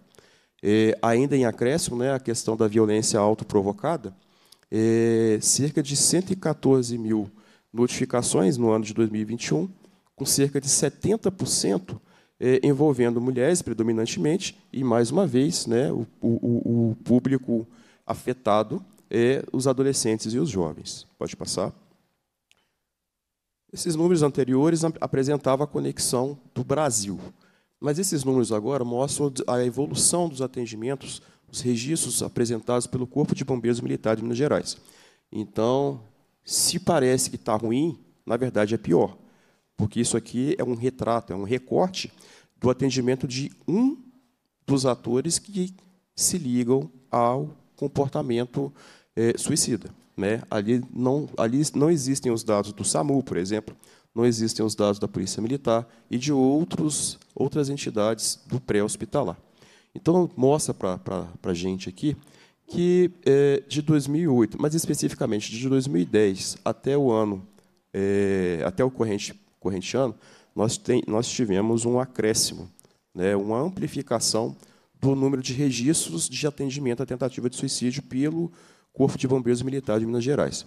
E uma das perguntas né, que eu tive né, com o, o doutor Humberto em, em momentos passados, né, uma pergunta que eu fiz é: o número está aumentando ou o, as nossas codificações e a capacidade de registro estão melhorando? Né? E aí né, nos foi orientado de que, de fato, como foi apresentado, existe um acréscimo quantitativo dos números, mas, ao mesmo tempo, as notificações elas, é, é, têm sido melhor descritas. Então, isso, em conjunto, mostra um aumento de cerca de 75% de 2008 até o presente momento das intervenções por parte do Corpo de Bombeiros. Pode passar, por favor. E, dentro daquela amostra de pouco mais de 22 mil atendimentos, e aí, se a gente pensar que uma vida basta, se a gente pensar em 22 mil realmente é um número assustador. Lembrando que são dados do Corpo de Bombeiros, não, é, não são os dados é, da sociedade mineira, o que significa que é um número muito maior. É, mas nós fizemos essa distribuição mês a mês. E aí, como podem perceber, os meses em que nós temos o maior número de registros, em primeiro colocado, o mês de dezembro. E em segundo colocado, o mês de outubro. Né? Cabe reflexões, mas creio que aqui não é o, o momento oportuno mas para deixar ah, claro como que é, existe sim é, uma certa sazonalidade, embora perene, é, perene no sentido de existência das ocorrências, mas existe uma sazonalidade no sentido de intensidade dos números, frequência desses números em meses específicos do ano. Pode passar, por favor. Nesse, nessa outra, nesse, nesse outro dado, nós apresentamos o período o pico é, de ocorrências envolvendo esse tipo de atendimento. Então, nós percebemos que é dividido né, de madrugada, de manhã, de tarde e à noite. E, como podem perceber, a parte da tarde, de meio-dia às 18, é onde se concentram as ocorrências envolvendo o Corpo de Bombeiros. Tá? É, em segundo colocado, à noite. Então, quando a gente pensa na questão das redes sociais, é, em qual momento que nós estamos acessando? É, é, isso varia de pessoa para pessoa, claro, mas quando a gente pensa num, num contingente é, de usuários, qual é o período de maior intensidade do uso das redes sociais? Mas em termos de ocorrência, esses são os números nossos oficiais. Pode passar, por favor. É, colocamos esses dados aqui por curiosidade. É, as redes sociais, como falamos anteriormente, elas podem funcionar como fatores de risco predisponente como bagagem, mas podem funcionar como gatilhos. Então, quando a gente vai, quando esses números que nós estamos registrando está permeado ali eh, esses usuários. Parte desses, desses tentantes e, eventualmente, suicidas que nós vamos fazer o atendimento eh, são usuários né, da rede social. Então, nós dividimos pelas regiões aqui no estado mineiro, e essas são as cinco regiões em que há maior índice de atendimento por nós. E aí nós temos um destaque é, a, região mineira de maior índice, que é o Triângulo Mineiro, e em segundo colocado a região metropolitana de Belo Horizonte. É, pode passar, por favor. Bom, mostramos números, entendemos por que, que um usuário se conecta ao comportamento suicida, que eventualmente vai se conectar aos serviços de emergência. E agora nós vamos mostrar como que é feita essa conexão. Existem dois caminhos. Tá? No primeiro caminho, é um caminho orgânico. É o caminho em que eh, algumas big techs já têm exercido, que é o, o automonitoramento. Nenhuma rede social quer ser taxada como a rede social do suicídio. Não, eu não vou entrar naquela rede social é, é, eu ia falar X, mas ia dar um, não ia funcionar muito bem. Entra numa rede social beta. E nessa rede social há inúmeras ocorrências envolvendo suicídios. Né? E agora nós já entendemos que não é a rede social em si que provoca o suicídio. Vemos que ela é um dos catalisadores. Talvez um fator precipitante, talvez um fator predisponente. É, então, alguma dessas redes, como por exemplo da Meta, que gerencia o, o, Facebook e o Instagram, existe nelas é, algoritmos, é, algoritmos de inteligência artificial que fazem o monitoramento constante de palavras-chave, palavras usualmente referidas por pessoas com comportamento suicida. A partir desse momento, desse rastreio, naturalmente, já há um bloqueio, algumas são bloqueadas, e, e aí se usa os lits, né? que é quando você substitui uma letra por uma outra, uma outra letra ou um número para poder é, é, burlar é, esses algoritmos de inteligência artificial. Mas, identificado esses, esses algoritmos que envolvam comportamento autolesivo ou comportamento suicida, essas informações são coletadas e algumas empresas, como a Meta, elas, a partir daquele IP ela consegue puxar o endereço e aí elas enviam para os serviços é, de emergência. Né? É, então, aqui, é, em Minas Gerais, por exemplo, existem, é, alguns casos de que recebemos é, as informações por parte da, dessa plataforma de uma determinada localização, é puxado pelo IP, e aí a gente deflagrar o atendimento, por, a gente manda uma de nossas equipes até aquela, aquela, aquele local. Tivemos um caso no ano passado é, exitoso, no sentido de intervenção, não exitoso pelo comportamento em si, mas é, em uma cidade de Pouso Alegre, é, a Meta fez contato com o nosso serviço de inteligência, reportando que um usuário estava apresentando frases de indicativos de que iria suicidar. De pronto, fomos acionados e, de pronto, já fizemos contato com a equipe local para que fosse averiguar na cena. Ao chegar na cena, existia de fato um, um, um tentante, no caso por intoxicação exógena. A equipe fez a intervenção e conseguiu levar esse tentante para o hospital para um atendimento melhor. E tivemos outros exemplos, né? mas esse é um exemplo mostrando que as redes sociais têm buscado se preparar para esse tipo de cenário. Ainda é um processo evolu é, em evolução, não é um processo é, é, em definitivo, está sofrendo, recebendo atualizações, mas que já existe. Pode passar, por favor. Bom, se por um lado existe é, algumas plataformas que fazem esse tipo de monitoramento e suporte, por parte do Corpo de Bombeiros existem duas linhas de ação. Uma linha oficial, que é por meio do, do nosso próprio protocolo de atendimento à tentativa de suicídio, que por, é, é, que por sinal eh, corresponde ao Protocolo Nacional de, de Abordagem Técnica à Tentativa de Suicídio, e neste protocolo existe um campo lá que diz que se um, uma pessoa qualquer percebe um comportamento de risco na rede social, seja no TikTok, seja no Facebook, seja no Instagram, seja no YouTube, eh, ao tomar conhecimento daquelas frases, eh, essa pessoa pode acionar o Corpo de Bombeiros via 193 É, essas informações são repassadas ao nosso serviço de inteligência, que busca é, identificar é, o IP daquela pessoa, ou outras formas de, de identificação. Ao identificar é, a localidade, retorna essa informação para a equipe é, daquela região, porque nós recebemos ligação 93 do estado inteiro. Então, a gente manda uma equipe naquela, na, naquela localização para fazer uma averiguação. E, e temos um outro caminho, que é aquele primeiro exemplo que eu dei, que é por meio dos abordadores. Tanto o serviço de inteligência do Corpo de Bombeiros quanto o serviço de abordadores, eh, há um monitoramento dinâmico, contínuo. Então, a gente sempre está olhando redes sociais. E aí, quando a gente encontra essas redes sociais, a gente busca identificar o contato com a pessoa. É claro que, na maioria das vezes, a gente não consegue esse contato com a pessoa, porque a pessoa está ali no comportamento de risco.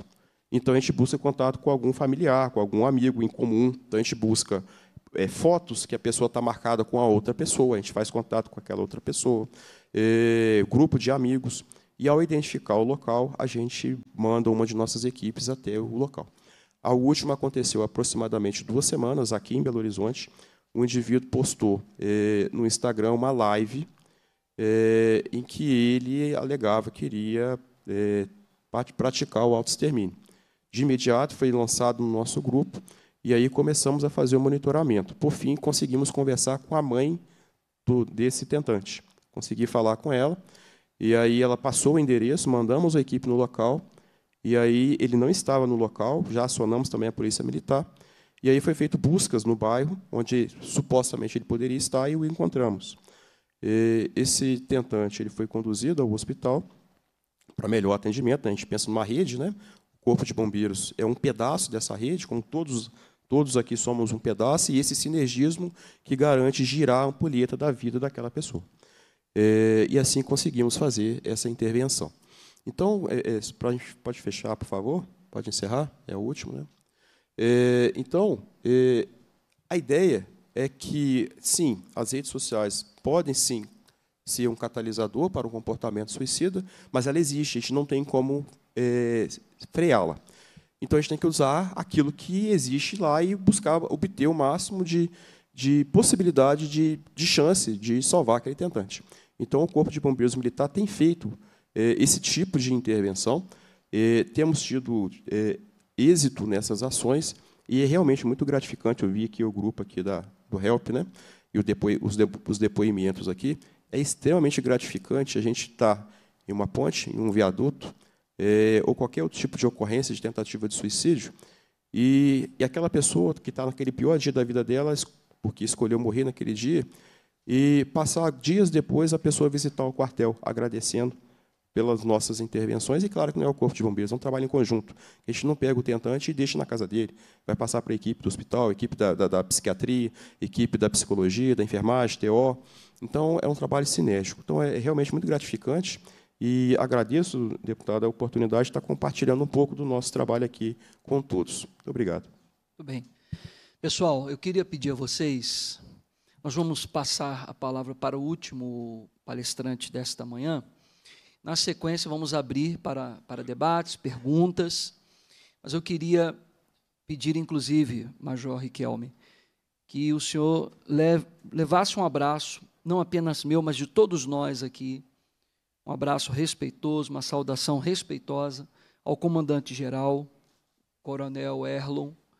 E eu queria pedir a todos vocês, além de uma efusiva salva de palmas, o nosso reconhecimento ao trabalho brilhante do Corpo de Bombeiros, porque é, é, desde o gatinho que sobe na árvore, a perda da chave e aos acidentes mais gravíssimos, a gente lembra logo em chamar o Corpo de Bombeiros, não é verdade?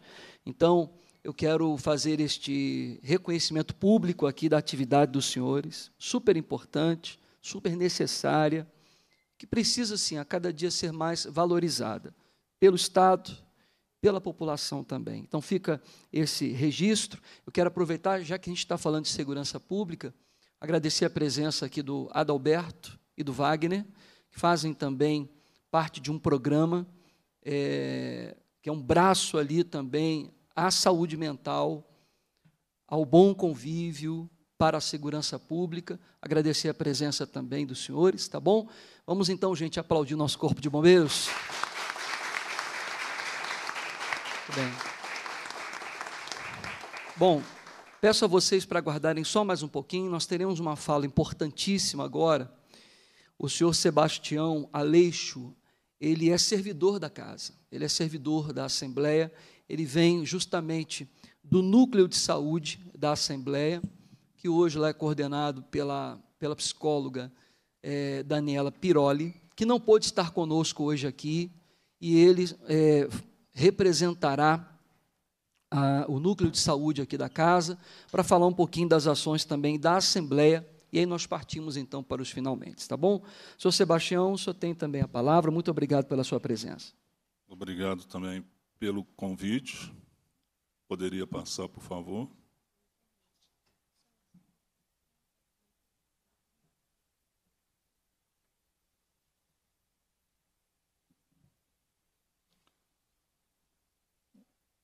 É, o assunto, então, como todos já sabem e estão, está sendo discutido, é o Setembro Amarelo, uma conscientização sobre o comportamento suicida e ao dizermos conscientização, nós queremos dizer que no mês de setembro não é o único mês em que devemos pensar sobre o assunto. É o mês referência para esse pensamento mais intensivo. Mas é um assunto que deve ser pensado, deve ser discutido durante todo o ano. Né? Como bem está aqui no, no pôster, é uma questão de saúde mental. saúde mental é um assunto que deve estar dispersa, discutida durante todos os meses, todos os dias, de todos os anos. Então, pode passar, por favor. Aqui eu trouxe um pouco de história. O dia 10 de setembro, então, foi o dia constituído pela OMS como Dia Mundial da Prevenção do Suicídio. O amarelo relembra a morte de um jovem americano chamado Mike. Esse jovem era um jovem tido como super alegre, super tranquilo, que não dava qualquer sinais de que pudesse ter um comportamento suicida, era bem quisto na comunidade e um dia simplesmente teve esse comportamento suicida. Então o amarelo veio em homenagem a ele, porque ele tinha um carro amarelo que era algo, uma paixão dele. No Brasil, somente em 2014 se iniciou a campanha. Então nós vemos aí que houve um gap entre o início mundial e o início no Brasil, de aproximadamente 10 anos. E talvez isso faça com que, mundialmente, a taxa já venha diminuindo, enquanto no Brasil ainda haja esse aumento. Talvez com o decorrer do tempo e com a continuidade dessa conscientização, esses números no Brasil também possam cair. E, por fim, há o telefone do CVV, que é o Centro de Valorização da Vida, que é uma ajuda nacional por esse telefone 188, funciona sete dias por semana, 24 horas por dia. Então, serve para qualquer um que esteja em dificuldade emocional, que não conte com apoio, que tenha talvez um pensamento uma ideação suicida, que esteja também passando por qualquer problema emocional e queira comunicar com alguém, tirar uma dúvida, falar daquela emoção com alguém, pode ligar nesse número que sempre haverá alguém para que o atenda. Pode passar, por favor. As primeiras preocupações que a gente tem de ter sobre o assunto são basicamente as seguintes. Nós estamos falando aqui para um público que a gente não sabe como estão as questões emocionais desse público. Então, nós temos como falantes hoje a responsabilidade de falar com cautela para que não haja nenhum gatilho na nossa fala que leve uma pessoa a um ato suicida. É necessário que tenhamos sempre a preocupação, de acordo com a, a classe, de acordo com a faixa etária, de adequar a nossa fala a essas situações para que a nossa fala seja bem dirigida e bem entendida também pelas pessoas. Pode passar, por favor. Sobre a prevenção, existem três tipos: a universal, a seletiva e a individual. Aqui eu coloquei a prevenção universal, porque é a prevenção que une todas as pessoas em quaisquer faixas etárias, quaisquer é, sexo, quaisquer qualidade de vida. Né? Então, o comportamento suicida é um grave problema de saúde pública no Brasil.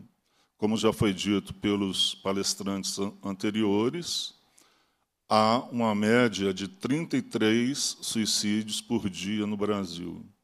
Isso é um número bem grande. E muitas vezes é uma questão silenciosa. Porque nem, todo, nem toda pessoa que tem um comportamento suicida, ele dá sinais claros de que vai se comportar daquela maneira. Nem toda pessoa que deseja tomar essa atitude vai chegar e falar abertamente. Pode haver pessoas que falem, pode haver pessoas que emitam e que, com isso, facilitem até uma intervenção. Mas pode haver também pessoas que ajam silenciosamente, que não exponham suas emoções, seus sentimentos e que ajam da mesma forma. E isso traz um problema para quem fica, para os chamados enlutados. Por quê? Porque aquelas pessoas que ficam vão ter também um sentimento de culpa. O que eu não vi? O que eu deixei passar? Por que eu não fiz tal coisa? Ou será que eu fiz demais?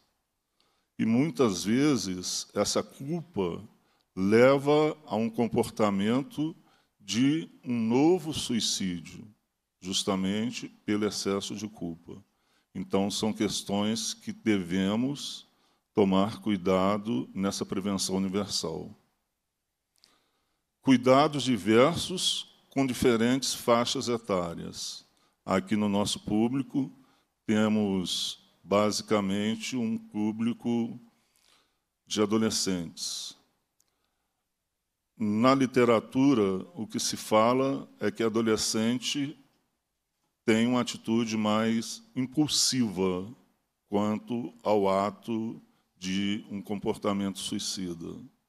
Então, para vocês que estão tendo a oportunidade de participarem dessa palestra, fica um conselho, vamos dizer assim.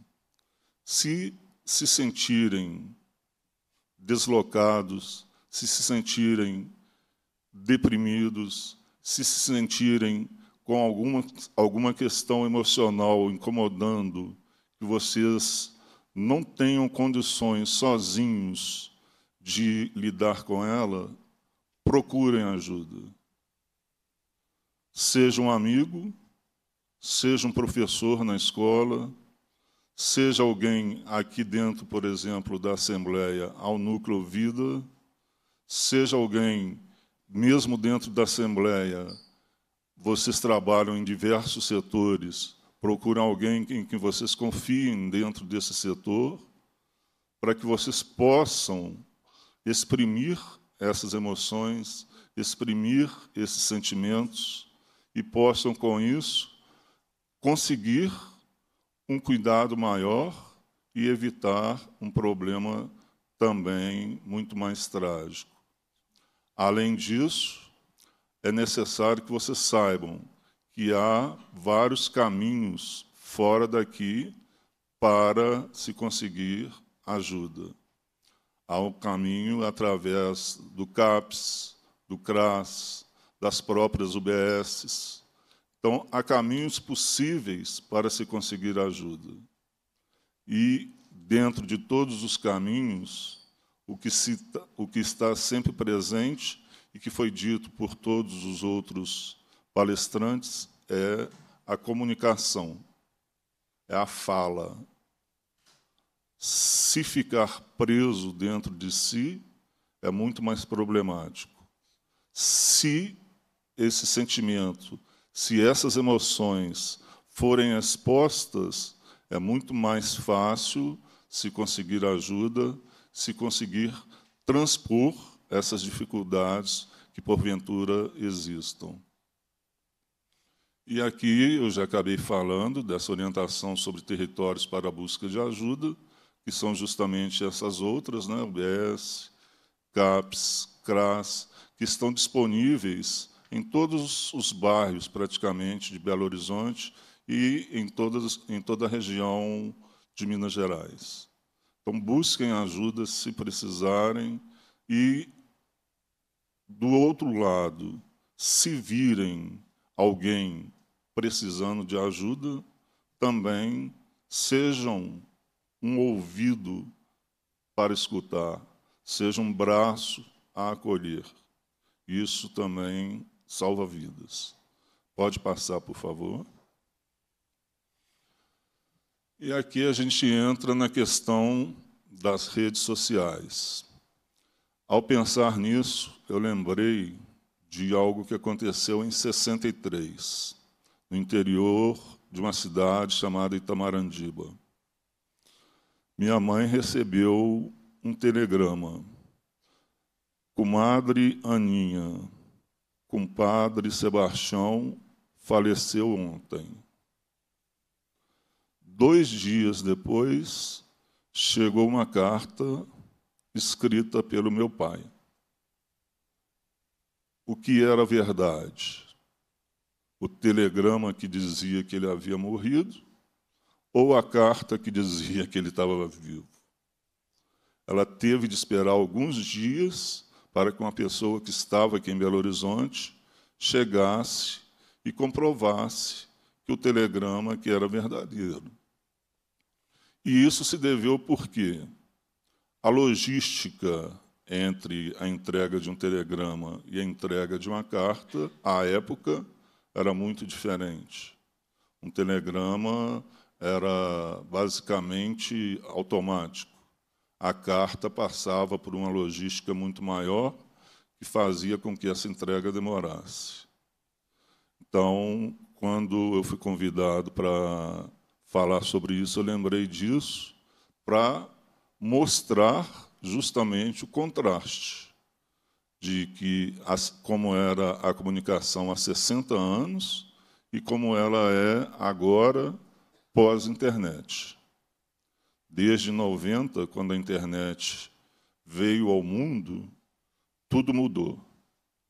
E a cada ano muda mais. E as redes sociais, como a gente viu, mudam a cada instante e a cada instante também, como já foi dito, a gente passa a interagir mais e mais com elas. Às vezes, a gente ainda está aprendendo a mexer com uma rede social e já aparece outra. Né? Orkut era uma febre e hoje é coisa de museu. Facebook já está virando coisa de museu.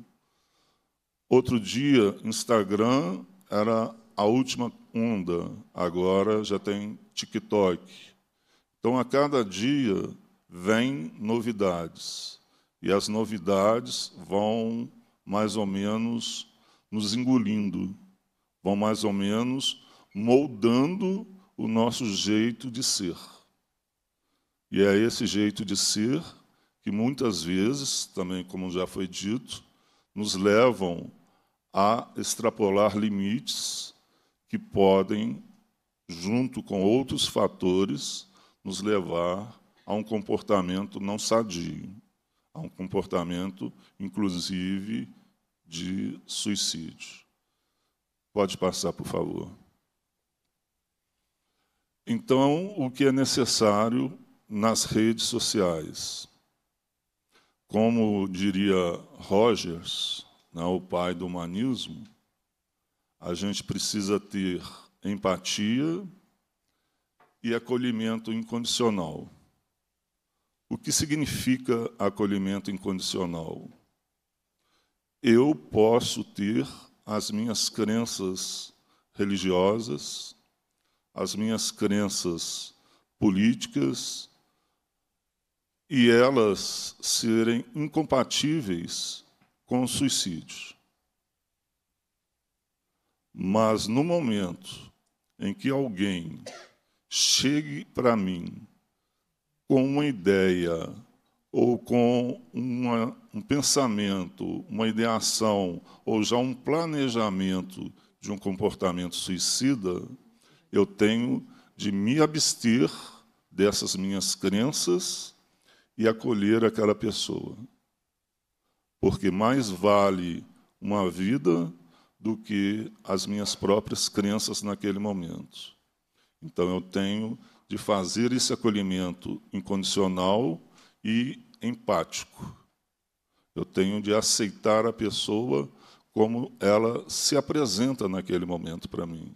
E isso vale também dentro das redes sociais. Então, nós precisamos, com isso, usar as redes sociais de forma ética, esclarecedora e informativa não divulgar métodos e meios de suicídio, porque essa divulgação ajuda outras pessoas que já estão com algum pensamento, já servem de gatilho para que essas pessoas passem da tentativa ao ato. Então é muito importante que todos nós, usuários de redes sociais, tenhamos esses cuidados não relacionar o ato com crime, pecado, falta de fé, coragem ou fraqueza. Muita gente fala, ah, ele suicidou, foi um ato de coragem. Ele suicidou porque ele foi fraco. Não se trata disso. Não se trata também de falta de fé. Não se trata também de pecado. Como está no título ali, devemos acolher a pessoa incondicionalmente. Trata-se, como se foi dito aqui, de um grande sofrimento. Um grande sofrimento de um, uma falta de sentido da vida, por vários motivos. E uma dor tremenda que a pessoa muitas vezes não consegue suplantar sozinha. Então, tenhamos também esse cuidado de não rotular as pessoas. E, por fim, ter cuidado ao relatar suicídios de personalidades e pontos específicos em que podem acontecer suicídios, justamente pelo efeito Weather, que o, foi falado, uh, uh, esqueci seu nome. Riquelme, pelo Riquelme, né? que é a pessoa vê aquilo, lê aquilo e repete.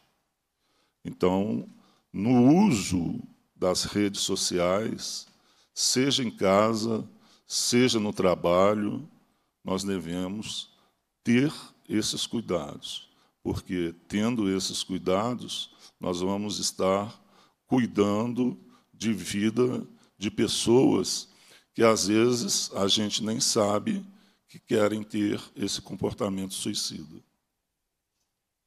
Pode passar, por favor. O que eu tinha a dizer é isso. Agradeço o convite, Agradeço a vocês pela oportunidade de falar. Excelente contribuição, senhor Sebastião. Leve, então, os nossos cumprimentos também ao, ao núcleo de saúde da casa, que tem prestado este, esta assistência tão, tão importante. Aqui, salvo engano, nós somos talvez aí dois mil servidores, fora o, o, público que vem aqui de toda Minas Gerais. Como vocês sabem, nós somos 853 municípios. Significa dizer, são pelo menos entre prefeitos, vereadores e representantes de associações, o público em geral. São milhares e milhares de pessoas que chegam aqui na casa. E ah, o, o, núcleo de saúde tem uma participação muito é, forte em tudo isso, porque cuida dos nossos servidores, dando maior capacidade para receber também este grande público. Então, agradeço muito pela pela contribuição que o senhor nos traz. Nós temos aí pela frente mais 10 a 15 minutos no máximo para encerrar a nossa audiência. É, eu queria apenas fazer alguns registros. Primeiro, saber se alguém gostaria de se dirigir ao, ao, ao microfone e fazer alguma pergunta a um dos palestrantes. Se sim, por favor, já pode se dirigir ali. Enquanto isso, eu quero registrar aqui, vejam só, nós recebemos aqui, eu vou preservar nomes, nós recebemos aqui um comentário é, de um internauta. Muitas vezes precisa de orientação e atividade produtiva para que não falte é, de ocupação empregatícia e educação esportiva. Então, vem a, calhar muito do que estamos falando aqui, da, da necessidade de mais investimentos na educação. É, há uma pergunta que eu vou guardar para o painel da tarde, aí eu já quero fazer o registro, que 14 horas nós teremos a nossa segunda audiência, com outros palestrantes, e estará conosco aqui um representante da Secretaria de Estado de Saúde. E eu quero deixar esta pergunta, que eu faço a leitura para vocês aqui, para a participação do governo na parte da tarde. Deputado, considerando o crescimento do uso das telas entre adolescentes e adultos e a relação com transtornos de ansiedade e depressão, quais políticas públicas estão sendo planejados para integrar a conscientização sobre a saúde mental nas escolas e como podemos garantir que essas medidas cheguem até as famílias de forma prática e eficiente. Então, política pública é executada, é aplicada especificamente pelo governo. Então, à tarde, repetiremos a pergunta e deixaremos a cargo deste representante a resposta desta pergunta. Contudo, senhoras e senhores, antes de nós encerrarmos, eu recebi várias, várias é, perguntas aqui, uh, várias perguntas feitas pelos participantes desta audiência. Eu selecionei quatro apenas delas e vou pedir aos nobres senhores, ao major do Corpo de Bombeiros, tem uma que é direcionada a mim, outra aqui ao doutor José Honório. E nós vamos respondê-las de forma mais objetiva para não delongarmos mais a nossa audiência. É, a primeira pergunta aqui eu vou fazer ao doutor José Honório. É, o senhor já acompanhou ou acompanha, se possível for também, porque às vezes há questões que são sigilosas, algum caso envolvendo negligência e o uso das redes, como, por exemplo, criança que sofreu um acidente ou foi esquecida enquanto os responsáveis estavam distraídos com o celular o senhor pudesse contribuir para a gente de forma bastante objetiva. Obrigado pela pergunta. Não é? é não, por, pelo seguinte, é, isso seria uma abordagem de, é, é, relacionada com os pais, não é? E seria de outra jurisdição específica em função dessa conduta omissiva e negligente. É, mas é, eu não tenho notícia de um caso parecido com esse que foi retratado na pergunta. Muito obrigado, Excelência. Pergunto agora aqui ao Major Riquelme, também vou preservar o nome de quem nos, nos mandou a pergunta. Podemos considerar, senhor Major, que o medo do julgamento pode estar omitindo os dados de tentativas e, e consumação de suicídio? Eu agradeço pela pergunta, né? Isso nos permite amplificar um pouco mais sobre é, é, esse fenômeno. Sim. É, o chamado luto, é, a gente vê né, o chamado luto não autorizado.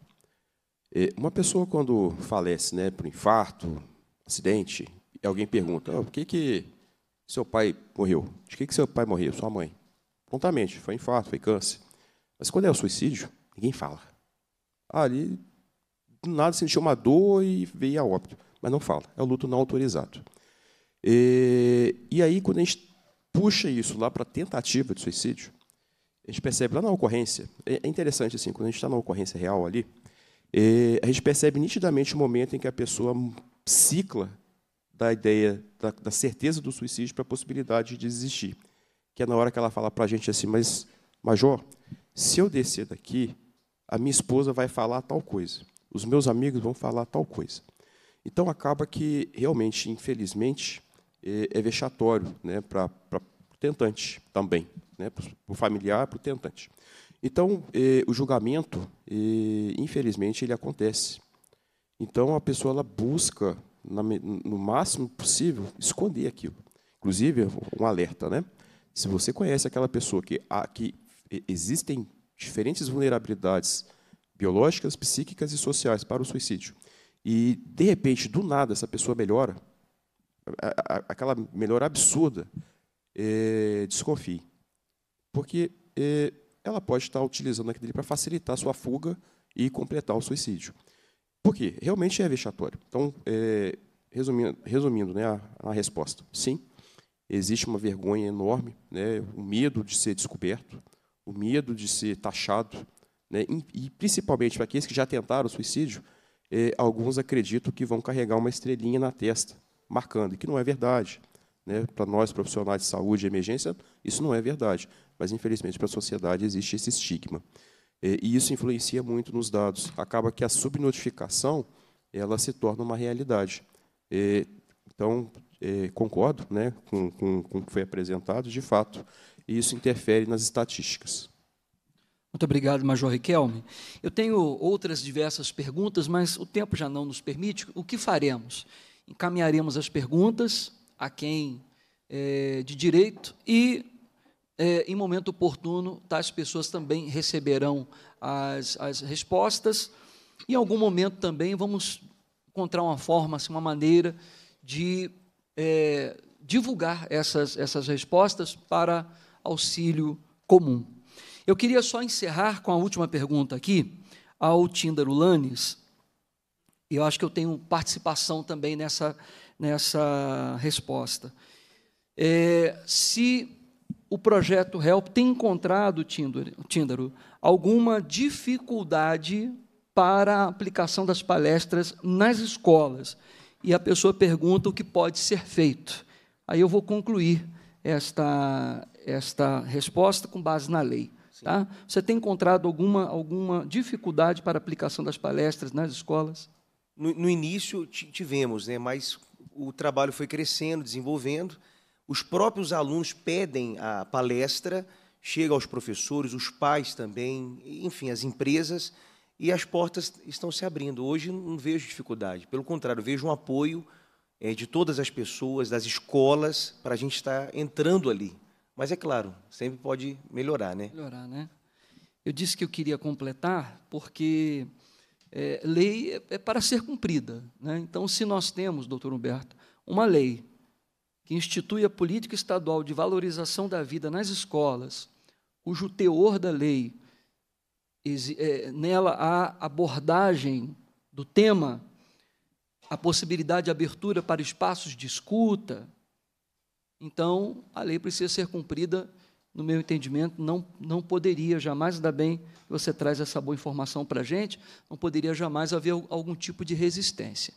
Diga-se de passagem, é o tema que nós estamos vivendo no dia a dia, e aí tem que ter, de fato, o envolvimento de toda a comunidade escolar, seja professores, diretores, assistentes, alunos, família, todos precisamos estar engajados nesta missão.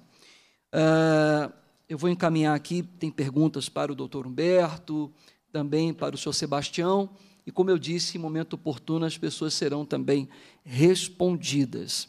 Eu quero finalizar falando de alguns requerimentos que ficarão para serem apresentados na nossa comissão de saúde, presidida nesta casa pelo deputado Arlen Santiago, a quem quero agradecer pela disponibilidade nas últimas reuniões de aprovar os requerimentos que tornaram é, possível estas audiências. É, ficará para, para a próxima reunião. O deputado que subscreve requer a Vossa Excelência, nos termos do artigo 103, do artigo 103, inciso 3A do, do regimento interno, seja encaminhada, encaminhado ao, a, à Secretaria de Estado de Saúde pedido de providências para informar se há e caso haja quais são e como são implantadas as políticas públicas voltadas para amenizar os impactos negativos das redes sociais na saúde mental dos cidadãos mineiros. E outros requerimentos que serão também apresentados durante a próxima reunião, como eu disse, o requerimento para ser aprovado necessita de quórum, ele precisa ser aprovado dentro da reunião de da, da Comissão de Saúde. Muito bem, eu acredito que nós é, debatemos de uma forma que, não digo é, é, superficial, não, acho que fomos até o ponto que o tempo nos permitiu. Nós entramos aí é, em temas extremamente delicados, sensíveis, mas eu quero fazer um apelo a cada um de vocês, que sejam é, multiplicadores de tudo que vocês ouviram aqui destes palestrantes. Vamos multiplicar vida, vamos multiplicar boas notícias, fujamos de fake news, daqueles vídeos que só servem para denegrir e prejudicar o próximo. É, aquela, aquela frase, você viu isso? Preste atenção antes de você compartilhar um vídeo assim.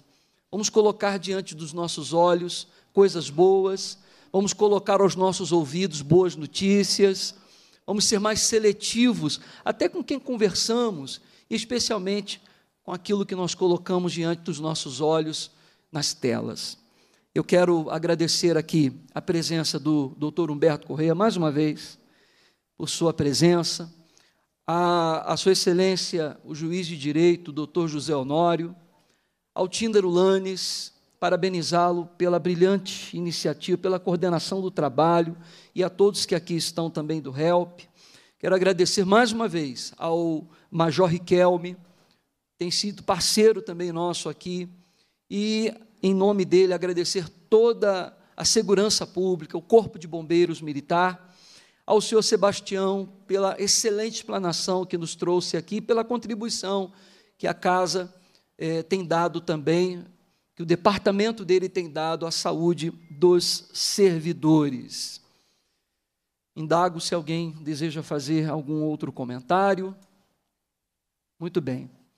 A presidência agradece aos convidados pelas informações prestadas. Não, perdão. A presidência agradece, sim, aos convidados pelas informações prestadas. Esta presidência esclarece que, é, após os questionamentos parlamentares, será. Bom, isso aqui também não há necessidade. É que tem uma série de opções e falas que não são necessárias, viu, pessoal? Já indaguei se, se alguém deseja fazer alguma, algum comentário. Estamos ao vivo, viu, viu pessoal? Muito bem. Cumprida a finalidade da reunião, a presidência agradece a presença dos parlamentares, dos convidados e do público presente. Convoca os membros para a próxima reunião extraordinária, como eu disse, que será daqui a pouco, às 14 horas. Determina a lavratura da ata e encerra os trabalhos. Muito obrigado pela presença de vocês. Uma excelente tarde. Até a próxima. E viva a vida!